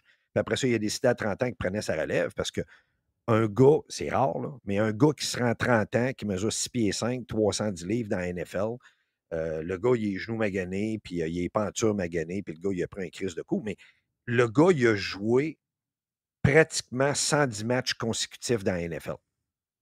Quand on parle de des saisons de 16 matchs, c'est du stock. C'est très rare que les gars, n'importe quelle position, qui ont une saison, qui ont joué à tous les matchs. Quand quelqu'un a ça, puis il a joué deux, trois saisons, là, les équipes, si le gars il est bon, il donne un bon salaire parce que le gars, il est reliable. Il est tout le temps là.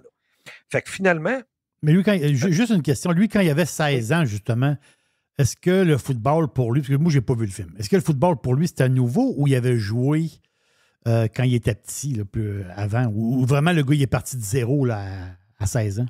Ben, ça, ça semble, ça semble être parti genre de zéro. OK. Puis qu'elle, elle l'inscrit au football. Si je me rappelle football. bien du Parce, parce qu'il était, il était toxon, puis il était. E- e- Il Exactement. avait acheté ça. pour ça. là.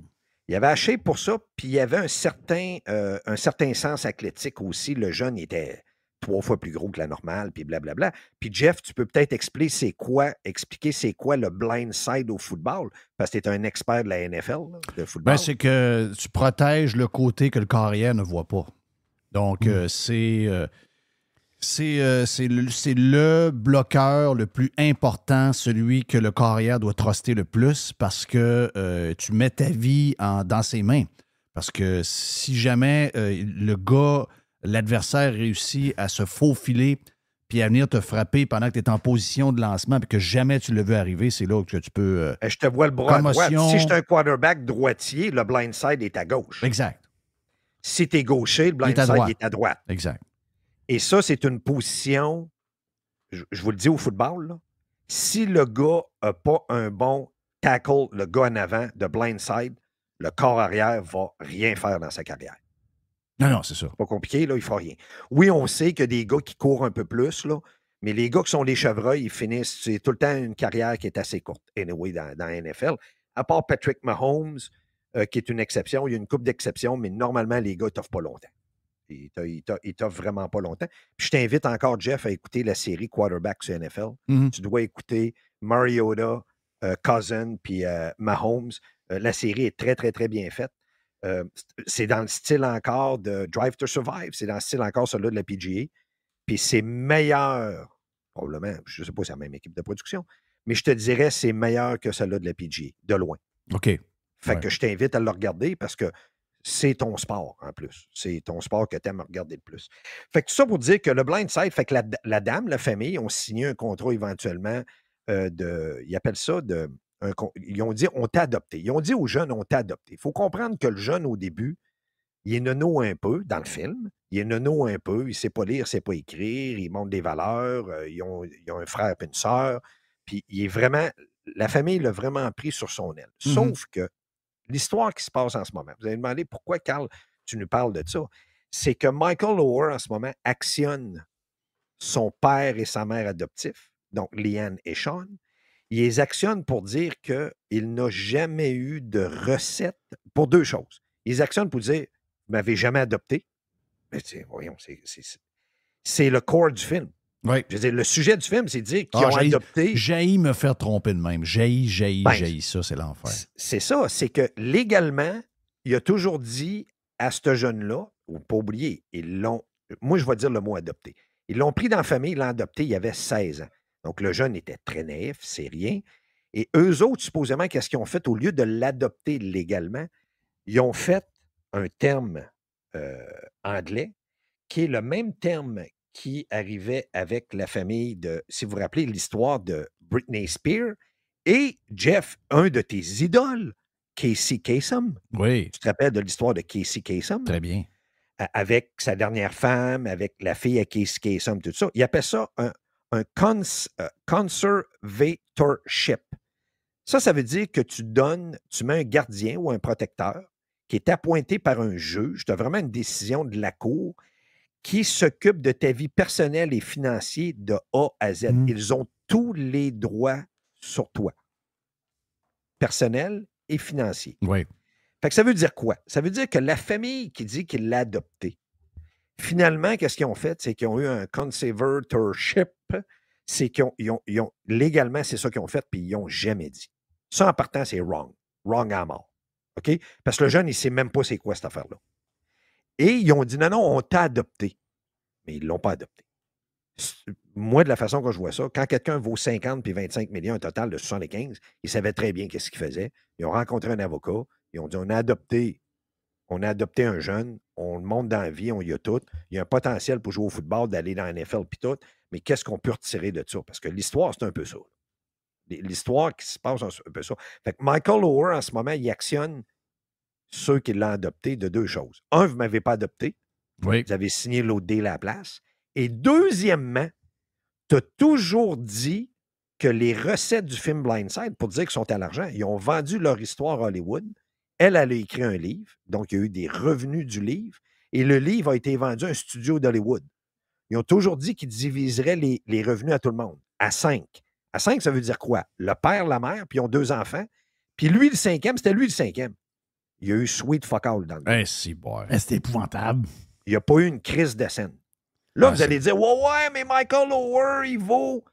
Aujourd'hui, ils disent il vaut entre 22 et 25 millions en 2023. Mais ils ont quand même 2022, fait de l'argent, sur son dos Hum. qui lui revient. Là. Ça n'a pas Ben, rapport ben, avec ce qu'il y a. Là. C'est c'est ça que je vais en venir. Puis le gars, il y a quand même un app qui s'appelle Good Deeds App. Ce gars-là, pour montrer comment est-ce que le cœur sa main, c'est qu'il donne du linge et des choses. à- il y a un app qui donne du linge à des gens défavorisés. OK? C'est ça qu'il fait aujourd'hui. Euh, Michael Ower. Michael il est euh, retiré de la NFL depuis 2017. Il a marié sa girlfriend de 17 ans, puis qui avait quatre enfants avec. Fait que le gars, oui, ils ont bien montré dans la vie, ça c'est correct, c'est un succès. Le gars, il est marié, il a quatre enfants, il fait une bonne cause, il travaille sur une bonne cause, il Mhm. redonne, il redonne ce qu'il a reçu de l'héritage de cette famille-là. Mais à quelque part, c'est un, peu, un peu empoisonné parce que oui, ils ont montré du leadership, puis possiblement, il n'aurait jamais joué dans la NFL si les parents ne l'auraient pas pris, puis il n'aurait pas donné du leadership, puis il ne l'aurait pas amené à l'école, puis il n'aurait pas appris à lire et à écrire. Parce qu'il ne faut pas oublier que la NFL, il faut que tu apprennes à lire et à écrire. Parce que si tu ne comprends pas les jeux, puis comment ça marche, tu n'es pas capable d'étudier les jeux, tu ne deviendras pas un. Tu vas être bon peut-être quand tu vas être college, mais quand tu vas tomber dans la vraie NFL, comme euh, Johnny Football, là, à un moment donné, si tu ne lis pas les jeux, les ci, les ça, puis tu ne comprends pas, Chris, tu n'iras pas loin. là. Tu vas plafonner vite. là. Puis ce gars-là a joué genre 11 ans dans la NFL. Fait que, tu sais, ça divise un peu dans l'histoire. Euh, tu as des pour et des contre, mais moi, qu'est-ce qui me lève le cœur, c'est de ne pas avoir été honnête avec lui en partant. Puis cette histoire-là de conservatorship, là, qui est de la merde all the way, ça, pour moi, ça sent le gros caca. Oui. Ça sent le gros caca. Si tu dis que tu l'as adopté, ben Chris, adopte-le, puis signe les papiers, puis donne-y une copie des papiers. Sois honnête avec lui en partant. Fait que ça, moi, conservatorship, là, ça, moi, ça me pue au nez. Deuxièmement, que c'est l'histoire de sa vie, que tu as vendu l'histoire, tu as eu des revenus d'un livre, tu as eu des revenus d'un film, puis que le gars, s'il est prêt à céder, c'est quand même excellent. là. Le gars, là, Michael Ower, mettons qu'il aurait dit Oui, oui, je divise en cinq. Il aurait pu dire Ben non, Chris, c'est mon histoire. Papa, maman, vous en prenez un tiers, un tiers, un tiers. Ben non. Il divise avec les deux autres enfants de la famille en plus. C'est quand même extraordinaire. là. Puis euh, Liane puis Sean ne semblent pas manquer d'argent. là. Ah oui. Ils valent 75 millions. là. Fait que. Non, c'est une histoire qu'écoutez, dégueulasse. ça m'a- Parce que c'est un film, tu sais, c'est un beau film. Ça a tout scrapé à patente. ben, ça vient tout de scraper à patate. Ça vient tout de scraper à patente. Mais Fait que Le- ça vient. le- le- là, vas-y, c'est pas Jerry. aux news. La question que je me pose, c'est que lui a fini sa carrière en 2016. Je comprends que peut-être que pendant sa carrière, il voulait peut-être laisser ça de côté. là. Mais pourquoi il a attendu tant que ça euh, pour sortir ça là? là? Parce que le gars est occupé. Je vais, je vais je vais dire ça tout simplement même. D'après moi, le gars, il est occupé. Et quand tu joues dans la NFL, là, les gars sont comme naïfs, sont comme hypnotisés, puis ils ont un focus, c'est ça. Puis son focus, il le faisait bien. C'était un joueur qui n'était pas blessé, qui a une très grande carrière. Il y a juste la dernière saison, il a fait trois matchs. Puis après trois matchs, c'est correct, je n'ai assez, mon corps ne suit plus, il a arrêté. Mais ce gars-là n'a à peu près jamais manqué un match de la NFL tout le long de sa carrière. Donc, le gars, nono un peu. Écoute, j'en ai. Où, quand j'habitais à Fort Lauderdale, ben, euh, Jeff, euh, Ryan Tannehill, c'était un de mes voisins. Il a acheté la maison de mon chum médecin. Fait que des gars de la NFL, j'en ai vu. J'en ai vu des brillants, j'en ai vu des nonos un peu plus, comme dans n'importe quoi, comme des gangs de chums. Je suis pas surpris de ça. Là, il se réveille, il regarde Oh, quelque ouais. chose. Il est pas, pas- possiblement qu'il y a un élément déclencheur. Possiblement que quelqu'un dit Hey, finalement, Blindside, euh, finalement, Blindside, t'as fait combien d'argent? Ah, j'ai rien. Ben, ben, ben non, j'ai pas fait d'argent. Combien t'as pas fait d'argent? Et là, euh, Chris, as-tu demandé les papiers? Et là, il s'est possiblement réveillé. Oui, c'est y sûr. a quelqu'un il dit Attends un peu, je vais t'aider. Là, il a envoyé une lettre légale au père de la mère qui ne connaissait pas. Fait que lui, il a pas- ils n'ont pas d'émotion. Lui qui l'a aidé, il n'a pas d'émotion. Lui, il a de l'émotion. C'est les parents, supposément, qui l'ont adopté. J'ai l'impression que l'histoire du fait qu'il a appris que légalement, il n'avait pas été adopté, ça, c'est un, un mensonge du début. C'est probablement ça qui était l'élément déclencheur de toute la, patente. Ouais, je pense que c'est elle. Ça a probablement été une grande, grande, grande déception de sa vie Oh, oui. de s'avoir fait mentir tout le long là-dedans. Exact. Et, euh, by the way, aux nouvelles partout, Via Ready, Entertainment Tonight, c'est partout l'histoire ici. Euh, la famille n'a pas voulu répondre. Ouais. C'est très spécial. Donc, histoire bien plate, mais euh, regarde, euh, on dirait que c'est le genre de patente qui arrive avec. euh, on dirait que c'est arrangé avec la gang de sauter d'Hollywood, puis de la minute que ces gens-là touchent à cette gang de, de, de bizarres, de, de monde avec des valeurs douteuses, on dirait que tout le monde, tout le monde devient pareil. Une autre histoire de ton bord, Carlos, qu'est-ce qui se passe? Ben, J'ai une question à vous poser. On s'en va dans un peu. Euh, on s'en va dans un air spécial. On dit qu'il va y avoir des voitures qui vont voler. Euh, on sait que des, à cette heure, avec la technologie des voitures, euh, que finalement, tu vas mettre ça sur cruise control, puis la voiture, ses autoroutes. Euh, déjà avec des Tesla, tout ça, ça, ça conduit tout seul. Puis ma question est la suivante. Est-ce que euh, les boys, les trois, Oui. est-ce que vous seriez willing d'embarquer dans un taxi qui n'a pas de chauffeur? Oui. Il y a un char qui arrive. Mettons, tu arrives à New York. Puis mon exemple, c'est à San Francisco, ce que ça se passe en ce moment. C'est que l'auto arrive, tu calls un Uber, whatever, puis c'est un taxi, prrr, le char arrive. C'est vraiment comme dans Back to the Future, là, vraiment les films euh, sci-fi. Puis euh, la porte rouvre, puis tu regardes, puis Chris, il n'y a pas de chauffeur, tu embarques en arrière, puis tu t'assis, puis l'auto part. Êtes-vous prêt à faire. eh, eh, En 2023, êtes-vous prêt à faire ça? Pourquoi tu dis en 2023? Parce que tu n'as pas confiance à ce que tu as vu depuis euh, quelques années avec euh, Tesla, Google et compagnie? Non, c'est parce qu'il y a un service de taxi en ce moment. Allez voir la compagnie, Jerry, voir la compagnie Cruise. Ça s'écrit vraiment comme Cruise, C-R-U-I-S-E. Donc, la compagnie Cruise de San Francisco ont un système de taxi en ce moment sans chauffeur. OK. Le problème qui est arrivé, comme à Montréal avec le REM, le problème qui est arrivé, c'est que du monde qui a embarqué dedans, puis il y, a un, il y a un problème de software une couple de fois. OK. Donc, le, Là, le euh, taxi s'est arrêté, puis euh, il était jamais là. Les portes barrées. Ouais. Le REM, c'est pire parce que il y a un couple qui s'est ramassé dans le garage. Ouais, dans le garage. OK. Ouais. Dans le garage de service, puis euh, il n'y a pas moyen d'aller ailleurs. D'après moi, les lumières ont fermé. là. Et si boire. Mm. Et j'aurais été méchant, là. J'aurais été Non, mais très moi, méchant. à la réponse à Carlos, là, on dirait que. Le Waymo le fait depuis, depuis quelques, Moi, quelques mois aussi. j'ai vu dans des villes des genres de tests qu'ils ont fait là-dessus. là. Je sais que ça existe puis tout ça, mais je sais pas. On dirait que possiblement que je serais naïf. Mettons que j'arriverais quelque part dans une ville, puis là, ben, un taxi arriverait, puis on serait deux, trois. Tu sais, possiblement que je le ferais comme parce que je me dirais, bon, possiblement qu'ils ont testé ça ici, puis tout ça, mais dans ma tête, je suis pas très chaud. On dirait que ça n'a pas été expérimenté encore assez. OK. Ben, Ah, moi, je suis peut-être un mauvais, un je suis peu- peut-être un mauvais, euh, mauvais juge parce que ben, dans le quartier, dans le quartier que tu connais où je suis, euh, euh, Carl, c'est qu'on a quatre autobus sans chauffeur depuis cinq ans. OK. Puis euh, il est arrivé une couple de fois que l'autobus jam, tu sais, avoir arrêté euh, pour un problème de batterie ou n'importe quoi.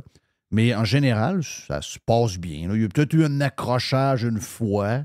Mais tu sais, c'est des, des petits autobus. C'est des autobus gros comme. euh, gros comme une. euh, un petit peu. deux Un, fois- un- un genre de petit shuttle euh, de. de, de- on, doit, on doit rentrer à peu près 8, OK. 10, 8, 10 personnes là-dedans. OK, Genre de petit bus, là. petit, là. Tu as essayé, toi? Oh oui, j'ai essayé. Oh oui. Puis, Ben, c'est bien correct. Il n'y a pas de chauffeur. Tu sais, les gars qui viennent te chercher, là, les gars des concessionnaires qui viennent te chercher chez vous, là. Tu sais, le genre de petit shuttle, genre- ça ressemble à ça. là. Non, non, non, non. C'est un autobus. euh, un autobus avec des affaires airs et tout. Là. OK. c'est juste que c'est un mini-autobus où il rentre. euh, il doit avoir 8 places assises. Puis si tu veux 8-10 places assises, si tu- s'il y a trop, il y a pas assez de place, ben, il y a peut-être 5-6 personnes. on dirait que tu te sens un peu plus protégé. Euh, commencer, c'est pas super peuplé où ce que t'es. Il y a du monde, là, mais c'est pas dans le temps de Miami. là. T'es pas dans une super grande ville. On dirait que tu es dans un, véhicule qui est un petit peu plus grand, donc ça donne une genre d'assurance. Donc c'est comme si tu embarques dans un, je sais un train ou n'importe quoi, tu te sens un peu plus en sécurité. Mais me semble quand tu embarques, je sais pas, c'est- c'est moi qui parle, c'est mon opinion à moi, tu embarques dans un auto qui est un taxi qui n'est pas super grand. Tu t'en vas dans une ville, puis il n'y a pas de chauffeur, je trouve. Me semble, en tout cas, j'aimerais ça qu'il y ait une couple d'années de plus de cobayes là, qui embarquent dedans. Ouais. Mais c'est pour que ça commence quelque part. C'est correct. Là. Que ça Oui, je comprends. Faut que ça commence quelque part. sais, Mhm. euh, Mais c'est drôle parce qu'il Tesla des... fait beaucoup de choses depuis longtemps. Google en fait depuis longtemps. Tu sais, moi, j'ai toujours été un défenseur de ça parce que j'ai hâte de, j'ai hâte de dormir sur la route. hein. J'ai bien, bien, bien hâte de dormir. Donc, euh, plus euh, on va faire des expériences, mais ça, les expériences n'arriveront pas sans anicroche. là. Ça, c'est Ben, clair. Il y a des avions qui tombent encore, puis il y en a une qui est tombée dans le courrier chez vous. Je vais, c'est ça. Je vais, puis je vais te répondre quelque chose de bien plate, là. mais euh, il y a beaucoup de chauffeurs. C'est pas arrivé souvent avec Uber, je dois le dire, mais avec beaucoup de chauffeurs de taxi, j'ai eu peur. là. Donc, euh, Ben, tu sais, je veux dire, je sais pas si je vais avoir vraiment plus peur, surtout à Montréal. là. Montréal, c'est spécial en taxi. Là. Tu sais, Des chars pas de break, euh, des chars sales, etc. Dans ma carrière, je me suis poigné trois fois avec des chauffeurs de taxi, puis il y en a un, Mm. ça finit sur le hood, puis euh, j'ai crissé une claque à gueule. Oui. OK? Euh, le, le gars, il avait un lousse dans son steering, il y avait un demi-lousse dans le Bon, oui, steering. moi aussi, ça m'est arrivé une fois Montréal. chose. Le gars roulait à 85 000 à l'heure, c'est à 95, puis on frôlait le mur du sang euh, à quelques pouces. On l'a frôlé en descendant à l'aéroport de Miami, on a dû l'avoir frôlé genre 10 fois. Ah oui, regarde. euh, Très. euh, c'est pour ça que je dis ça, là, tu sais, je veux dire. Il y a un acte de foi aussi avec certains euh, chauffeurs de taxi. Là. Euh, puis en ce moment, même ici à Québec, là, beaucoup de monde qui arrive, euh, beaucoup d'immigrants Oui. qui sont à l'université ou que- qui arrivent, puis qui n'étaient pas. euh, Il n'arrivait Soit- pas dans un pays où il y avait des autos à 15-16 ans, comme nous autres, on a montré à nos enfants, puis qui ont eu le temps d'apprendre Ben, à conduire. c'est des nouveaux dans- conducteurs. C'est des nouveaux dans des- conducteurs dans des conditions difficiles où il y a l'hiver, tout. Là. Ben, c'est ça, je Euh, voulais dire, quatre, quatre saisons. là. C'est ça. Euh, c'est pas évident. là. non, non, non, non. Non, c'est pas évident. Mais euh, Jerry, check la compagnie Cruise. euh, en ce moment, à San Francisco, ils ont eu des problèmes. Ça fait partie des manchettes ici. C'est qu'il est arrivé quelques bugs. Dans... mais écoute, il n'est pas arrivé juste un bug. Il est arrivé plusieurs bugs qui fait qu'il en parle aux nouvelles. Je ne sais pas. Une fois, un chauffeur de. Un, un véhicule qui est arrivé, bouf, il a stallé là. Puis je pense qu'il y a un compétiteur, sont deux là-dedans qui font ça. C'est c'est Waymo, les autres. Waymo, ouais. Waymo, c'est une division de Google? Oui, une division de Google. Ouais. Il faut s'en aller là, là. Tu sais, euh, faut, euh, faut s'en aller là. là. On n'a pas. euh, on est déjà en retard. On nous avait dit. On nous avait dit il y a 7-8 ans que dans 5 ans, tous les chars allaient, chau- allaient chauffer tout seuls. finalement, bon. Moi, je doutais parce que je savais que toute la réglementation, les villes, les fonctionnaires, les ci, les ça, tout le monde a peur de ça. Tout le monde a peur de changer la, donne. Puis là, en ce moment, on est sur, euh, on est sur autre chose. Donc, euh, on est. c'est Au lieu de dire. Sais, parce que, euh, entre vous et moi, si demain matin, toutes les voitures se conduisent par eux-mêmes. Il va y avoir beaucoup moins de problèmes de circulation. Donc, dans les choses green, une des choses que les activistes green devraient pousser au max, c'est les euh, driverless cars. Mais pourquoi, moi, Ouais. je fais pas le lien. C'est quoi le lien avec moins de problèmes de circulation? Ben oui, c'est sûr. Les humains qui conduisent, là, les humains, un, ils provoquent des accidents parce qu'il y en a un qui va être trop proche, un est trop Un loin. est trop vite, l'autre est trop lent. Exact. Si tu mets des voitures Parlez aux qui sont... compagnies d'assurance. Parlez Ah aux ouais. compagnies d'assurance et Ben des oui. bosseleurs. Ben oui, ça, c'est- prouvé depuis longtemps. là. Si tu prends, mettons, une voiture, puis tu prends 100 voitures, les 100 voitures vont à la même vitesse, ils ont toutes 2 mètres de séparation entre chaque voiture, Ben tu vas te rendre bien plus vite à destination que si tu prends 100 voitures libres. Ouais. Parce qu'il Mais- y en a qui, il y en a qui, qui vont venir couper, il y en a qui vont ralentir, il y en a que la distance va être trop grande en arrière. Tu sais, les bouchons de circulation ne sont pas provoqués par trop de chars. là. Ils sont provoqués par le comportement de, de- de l'humain derrière. Le, Tu sais, le plus mauvais conducteur de l'histoire, quand on va faire le bilan de ça dans 100 ans, là, on va dire il y avait avant les mauvais conducteurs, puis aujourd'hui. Puis ça ne veut pas dire qu'il n'y aura pas d'histoire avec des 100 conducteurs, mais quand on va comparer le bilan avec les assurances des conducteurs humains Ben oui. Et les sensors, on va voir qu'on va être deuxième rapidement. Oui. Veux-tu mettre la marde sur une autoroute? Un clown qui roule à 60-65 dans le milieu. C'est pire qu'un gars qui roule à 150. Sont-ils dangereux? Ben oui, c'est eux, c'est eux autres qui provoquent toute la merde alentour. Ça, je le dis depuis, depuis toujours. Ma blonde, ma blonde a dit, hey, non, non, Non, non, c'est lui, lent. le gars à pas le vite, 140, c'est lent. il- il- lui, OK, il y a quelqu'un, mais il a, trouvé son chemin. Ça, c'est dangereux, le gars, le gars à Ben, tu sais, 50-60. Tu sais, Jeff, qu'est-ce qui se passe les autoroutes en Floride? Là? Oui. Je veux dire, euh, la police roule 80-85. là. Fait que, euh, je veux dire, puis quand il y en a un qui va pas assez vite, il va mettre les flashs. Ouais, mais Euh, tu sais, C'est une autoroute, là. Mais il, il y a. euh, ça, ça- ça, regarde, le bilan de la Floride, ben, ben, dans ces autoroutes, est affreux. C'est un des pires bilans au monde. Sauf que ça, eux autres, justement, ça va. tu peux pas avoir. Ça, c'est un bel exemple. Tu peux pas être pire. Si, mettons, demain matin, on dit tous les chars à 95 sont chauffés par les sensors, ça peut pas être pire que le bilan floridien qu'il y a en ce moment. Non, ça, peut, ça- ça- ça, ça je- peut pas être pire. C'est, la place des plus mauvais conducteurs sur la boule. C'est la Floride. là. T'as C'est- pas de courbe, puis le monde pogne de clos à des places, là. Non, non, c'est, une des, c'est une des places les plus dangereuses pour conduire. là. Cigarettes, après ça, c'est euh, téléphone. téléphones, non, non, les après téléphones, ça, c'est c'est un petit peu de maquillage. fucking crazy, le téléphone. Le téléphone, c'est fou. Tout le monde check. En tout cas, quand tu le vois, ça se promène de même sur l'autoroute à épouvantable. 90 000 à l'heure. À 90, euh, c'est ça, 90 000 à l'heure. 90 000 à l'heure. 90 000 à l'heure, ça se promène Ça de wave. même, ça wave sur l'autoroute. Tu passes à côté, tu le dépasses à 94. Tu te dis que je vais pas rester en arrière de lui. Non. Là, tu le regardes, il a son téléphone sur le volant, puis il check son Facebook, puis son. Wow. Oui. Ah non, c'est fou, Red. Thank you, my friend. C'était Carlos the Punisher. Yes. Thank you, Jerry, pour le Prime.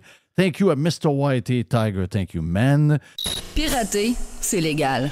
Radiopirate.com. Radio Pirate. Pirate. 100% 100% pirate. Radio Pirate. Ah, mes chers auditeurs. Radio Pirate. Jerry, euh, Yes. j'ai eu la mission euh, de Mr. White.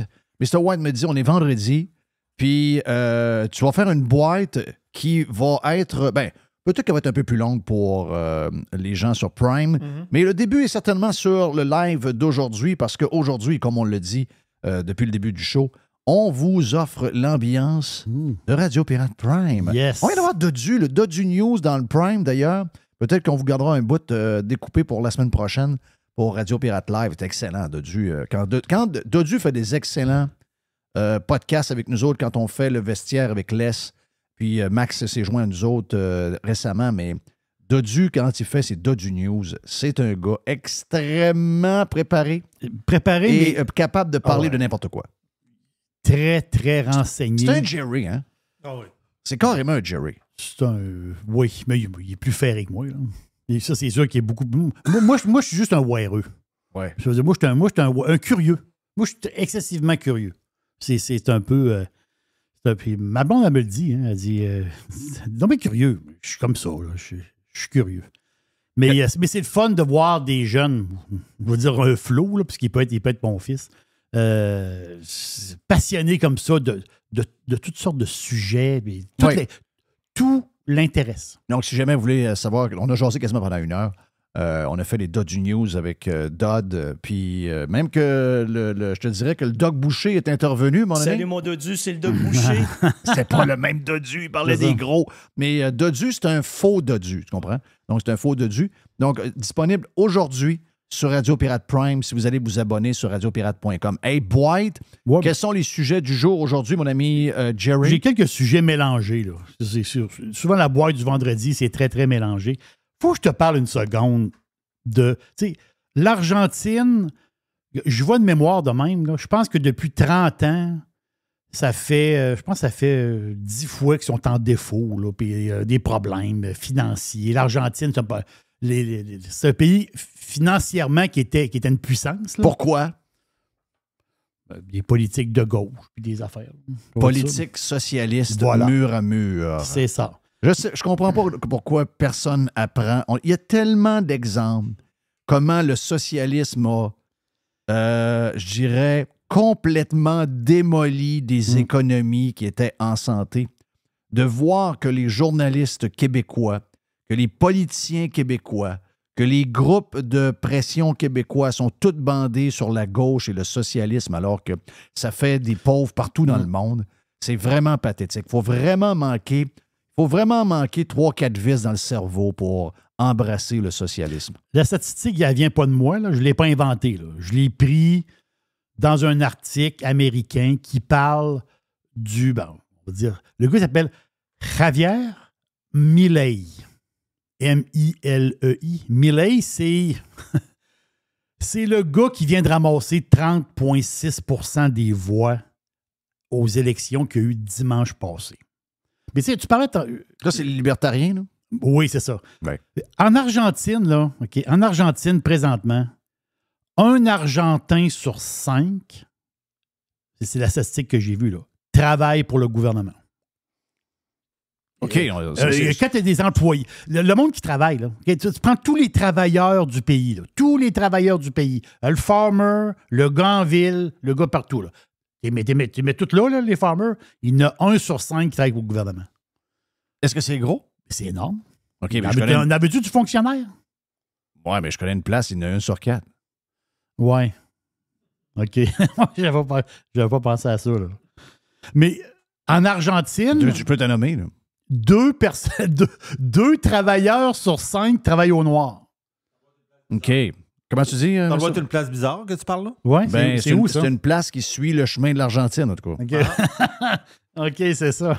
Donc, euh, Mais à un moment donné, il il y a combien de gens qui travaillent au noir? Euh, deux sur cinq. Deux sur cinq. Donc, tu prends cinq personnes, tu prends cinq travailleurs. Là, tu dis, lève la main celui qui travaille au gouvernement. Il y avait lève la main. OK. Levez la main ceux qui travaillent au noir. Il y en a deux qui partent. Ben, il en reste deux. Ouais. Il en reste pas beaucoup, là. Ben, il en reste deux. En réalité. Mais quand est-ce qu'il y a des travailleurs qui travaillent au noir? C'est quand les travailleurs se sentent abusés par l'État? Abusé, abusé comme Voilà. C'est OK. ça. C'est aussi simple que ça. Quand, quand tu, tu- quand es dans un genre de paradis fiscal, tu penses pas à fourrer l'État.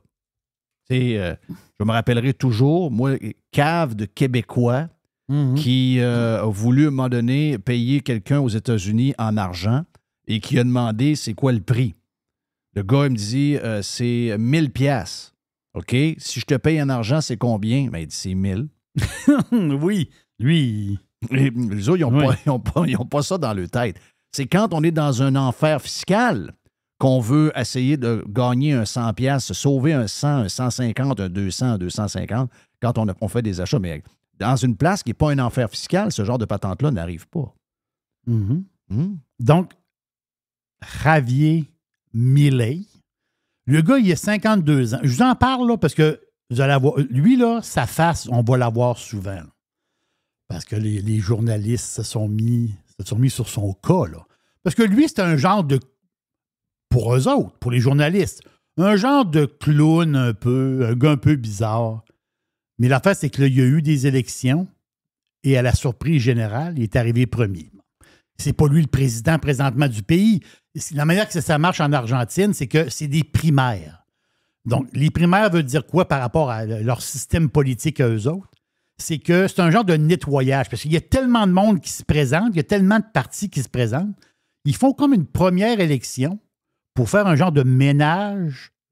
Et ensuite, les, les partis qui restent, qui ont eu plus de voix, ben c'est eux autres qui vont participer à l'élection euh, officielle, si je peux dire, euh, de l'automne prochain. Mais la face, c'est que ce gars-là, lui, il est en politique depuis 2021. Hein? Un peu, là. Lui, lui, il arrive, là. Lui, il arrive, il s'est fait élire comme genre de député là, de, la région de, la capitale. Euh, il a 52 ans, il est économiste. Là, là, OK, les dit- économistes en Argentine ne sont pas comme les économistes d'ici. Et les économistes de droite, ici, sont tous de gauche. Oui, c'est ça. Oui. Tous de gauche. Ici, ils sont tous, exactement. Là, là, il y a plein de, il y a plein de, de manières de, le nommer. OK? Populiste, le Trump du Sud, regarde, il en veux-tu, là, regarde, c'est un genre de fou, c'est un genre de gars malade, telle affaire, c'est un genre de capoté. Euh, en réalité, le gars, là, un, c'est un showman et c'est un anti-système. C'est un anti-caste. C'est un anti. Je, je vais le mettre, euh, on l'a déjà entendu ça. Lui, là, il veut nettoyer la swamp. OK, ouais, ouais, c'est vraiment. Ouais, c'est vraiment un Trump, là. Oui, c'est ça, là. Oui. Lui, il a dit, il dit, puis c'est drôle que tu l'as dit tantôt. Lui, il dit, le capitalisme, là, il dit, c'est pas parfait. Mais il dit, au moins, ça marche. Oui. J'ai parlé un peu plus tôt. Voilà, mais il dit, ça, dans le sens que ça fonctionne. Il dit que le socialisme. C'est le meilleur euh, modèle. C'est le meilleur modèle. Il n'y a pas Voilà. de meilleur modèle. Il n'est peut-être pas parfait, mais il n'y a, il y a pas de modèle qui existe qui est meilleur. Le deuxième meille- meilleur euh, modèle par rapport au capitalisme, il est probablement euh, 52 étages en bas du capitalisme. Donc, euh, arrivez-moi pas qu'une autre histoire, il n'y en a pas d'autre que lui. Lui, il est contre le salaire minimum. Yeah. Là, là, là, Yeah. Ils viennent tout fou. Là. Lui, il est contre le salaire minimum. Lui, il veut réduire le rôle de l'État. Il veut mettre des fonctionnaires dehors, car- Yeah. carrément. Lui, il veut libéraliser l'économie au complet. là. Oh, yeah.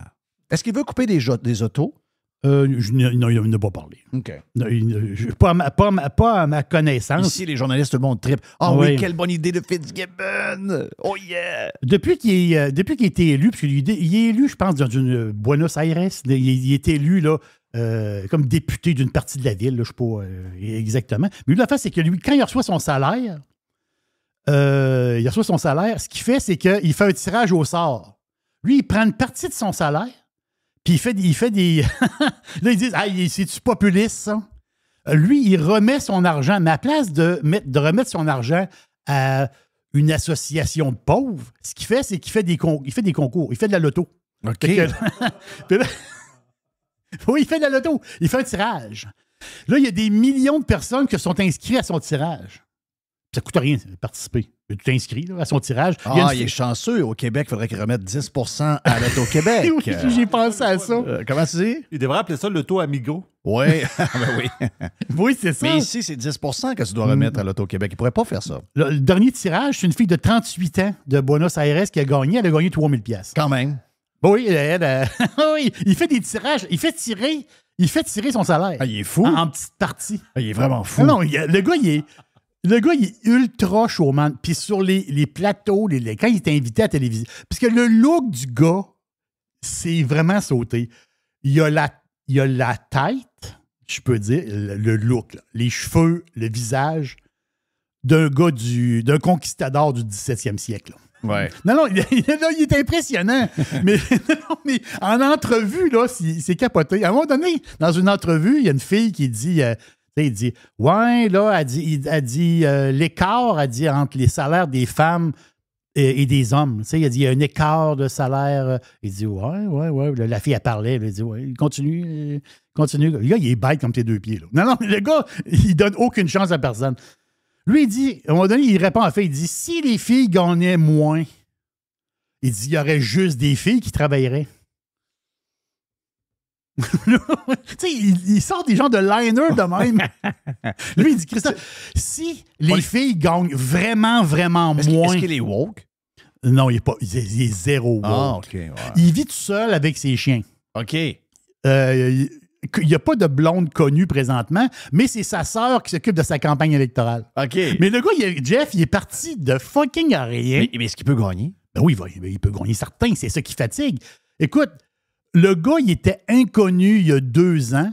Là, il y a 30, presque 31 des voix. Au non, non.